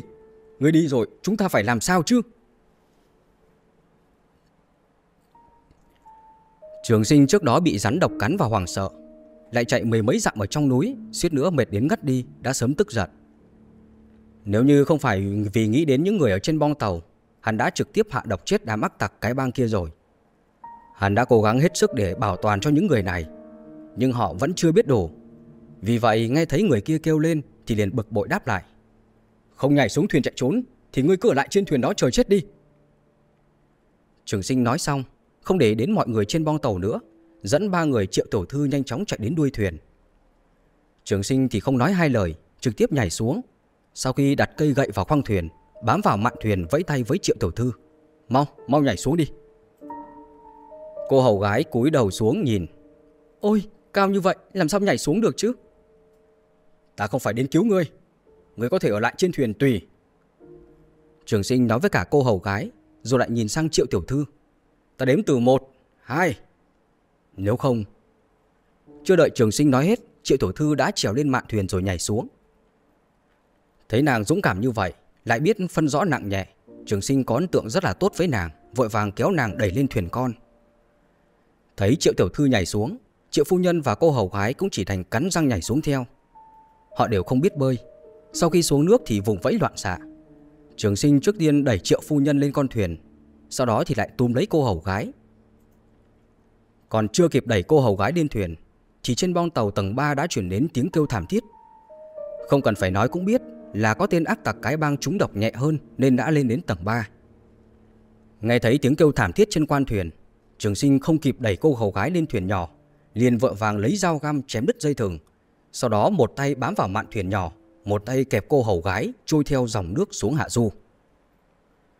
Cô hầu gái lúc này sợ hãi quá, Vùng vẫy loạn xạ, la hét ầm ĩ. Lúc này thuyền con và thuyền quan Vẫn chưa kéo giãn khoảng cách. Sợ nàng ta la hét sẽ dẫn đến truy binh. Trường sinh liền bịt chặt miệng nàng ta lại, Không cho nàng ta phát ra tiếng. Trôi được mười mấy trượng, Trường sinh hơi yên tâm, Buông tay ra đẩy cô hầu gái lên thuyền con. Lúc này thì trường sinh đã kiệt sức rồi. Ngay cả sức để trèo lên thuyền con cũng chẳng có. Thấy hắn mệt mỏi dã rời, Triệu tiểu thư cũng không đứng khoanh tay đứng nhìn, Liền tiến lên nằm lấy tay hắn kéo lên thuyền nhỏ. Ngay khi mà trường sinh trèo lên thuyền nhỏ, Thì tiếng la hét chửi bới từ đuôi thuyền quan truyền đến. Trường sinh nghe thấy liền quay đầu lại, Thấy có hai tên ác tặc cầm đao bước đi loạn choạng chạy đến đuôi thuyền. Thấy bọn họ trốn bằng thuyền con thì tức giận chùi rủa không ngừng. Lúc này thuyền con cách thuyền quan không quá 20 trượng. Sợ bọn chúng phóng ám khí, trường sinh không kịp thở dốc cầm mái chèo bắt đầu chèo thuyền. Cứ gắng sức chèo thuyền được mấy trăm trượng, không thấy ai đuổi theo nữa, lúc này hắn mới thở phào nhẹ nhõm, quay đầu nhìn lại. Chỉ thấy mấy tên ác tặc cái bang đang chém giết bừa bãi những người ở lại trên thuyền. Đến lúc này thì những người đó mới có dũng khí nhảy xuống thuyền, nhưng họ đã không còn cơ hội để mà nhảy xuống thuyền nữa. Ngay tại trước khi mà trường sinh quay đầu lại, thì ba người triệu tiểu thư đã nhìn thấy những gì đã xảy ra trên thuyền quan. Cái cảnh tượng đẫm máu khiến cho bọn họ sợ hãi không thôi. Nếu trước đó ba người họ hơi do dự, chậm trễ một chút thì kết cục cũng sẽ giống như là những người trên thuyền. Triệu tiểu thư và triệu phu nhân nhìn trường sinh với ánh mắt đầy biết ơn, còn cô hầu gái nhìn trường sinh với ánh mắt đầy sự oán hận. Trường sinh đang giơ tay lau mồ hôi thì vô tình nhìn thấy ánh mắt của cô hầu gái. Ngươi nhìn ta làm gì? Hay là để ta đưa ngươi trở về? Thấy giọng điệu của trường sinh cứng rắn, cô hầu gái có chút sợ hãi nói. Sao người lại nóng tính như vậy chứ? Nếu, nếu như không có người, chúng ta e rằng đã bị bọn người xấu kia hãm hại rồi. Vậy ngươi nhìn ta làm gì? Trường sinh dịu giọng lại. Tại vì lúc đấy, ngươi suýt làm tăng chết ngạt đó. Cô hầu gái lầm bầm. Vớ vẩn, ta bịt miệng ngươi, chứ đâu bịt mũi của ngươi đâu. Trường sinh lau mồ hôi xong thì tiếp tục chèo thuyền. Nếu để mặc ngươi la hết, nhất định sẽ dẫn bọn chúng đến. Triệu phu nhân lớn tuổi, tương đối hiểu lễ nghĩa, đầu tiên là cảm ơn trường sinh. À, Triệu tiểu thư và cô hầu gái cũng theo đó mà cảm ơn. Thấy ba người chân thành, trường sinh ngược lại có chút ngại ngùng, nói Ta nói chuyện không được tốt, các ngươi đừng trách ta. Bởi vì ta không biết võ công, nên việc ta cứu các người tốn rất nhiều sức lực. Thiếu hiệp ra tay nghĩa hiệp Sao chúng tôi dám oán hận trách cứ? Triệu tiểu thư tiếp lời. Cũng là do các ngươi mạng lớn. Nếu lúc nãy chậm trễ một chút, Vậy thì chắc chắn sẽ phải chết đó. Trường sinh nghiến răng kiên trì, Chèo thuyền. Lúc này bọn họ vẫn đang ở trên nhánh sông. Dòng nước rất là chảy chậm. Tốc độ cũng tương đối là chậm. Chỉ có ra đến dòng chính của sông lớn Thì mới coi là thực sự an toàn. Ba người triệu tiểu thư thì cũng biết là lúc này vẫn chưa thoát khỏi nguy hiểm. Họ có lòng muốn giúp nhưng mà chỉ có hai mái chèo, bọn họ không làm gì được. Chỉ có thể nghiêng người đưa tay ra dùng tay quạt nước. Thôi, không cần đâu. Các người cứ ngồi yên đi, để ta tự làm là được. Trường sinh lắc đầu mà nói. Các người cứ lắc lư như vậy, ta ngược lại, chèo thuyền càng thêm mệt đó. Nghe thấy trường sinh nói như thế, ba người cũng chỉ ngồi ngay ngắn trong khoang thuyền, thở hổn hển, bình ổn lại sự căng thẳng và kích động sau khi mà thoát chết.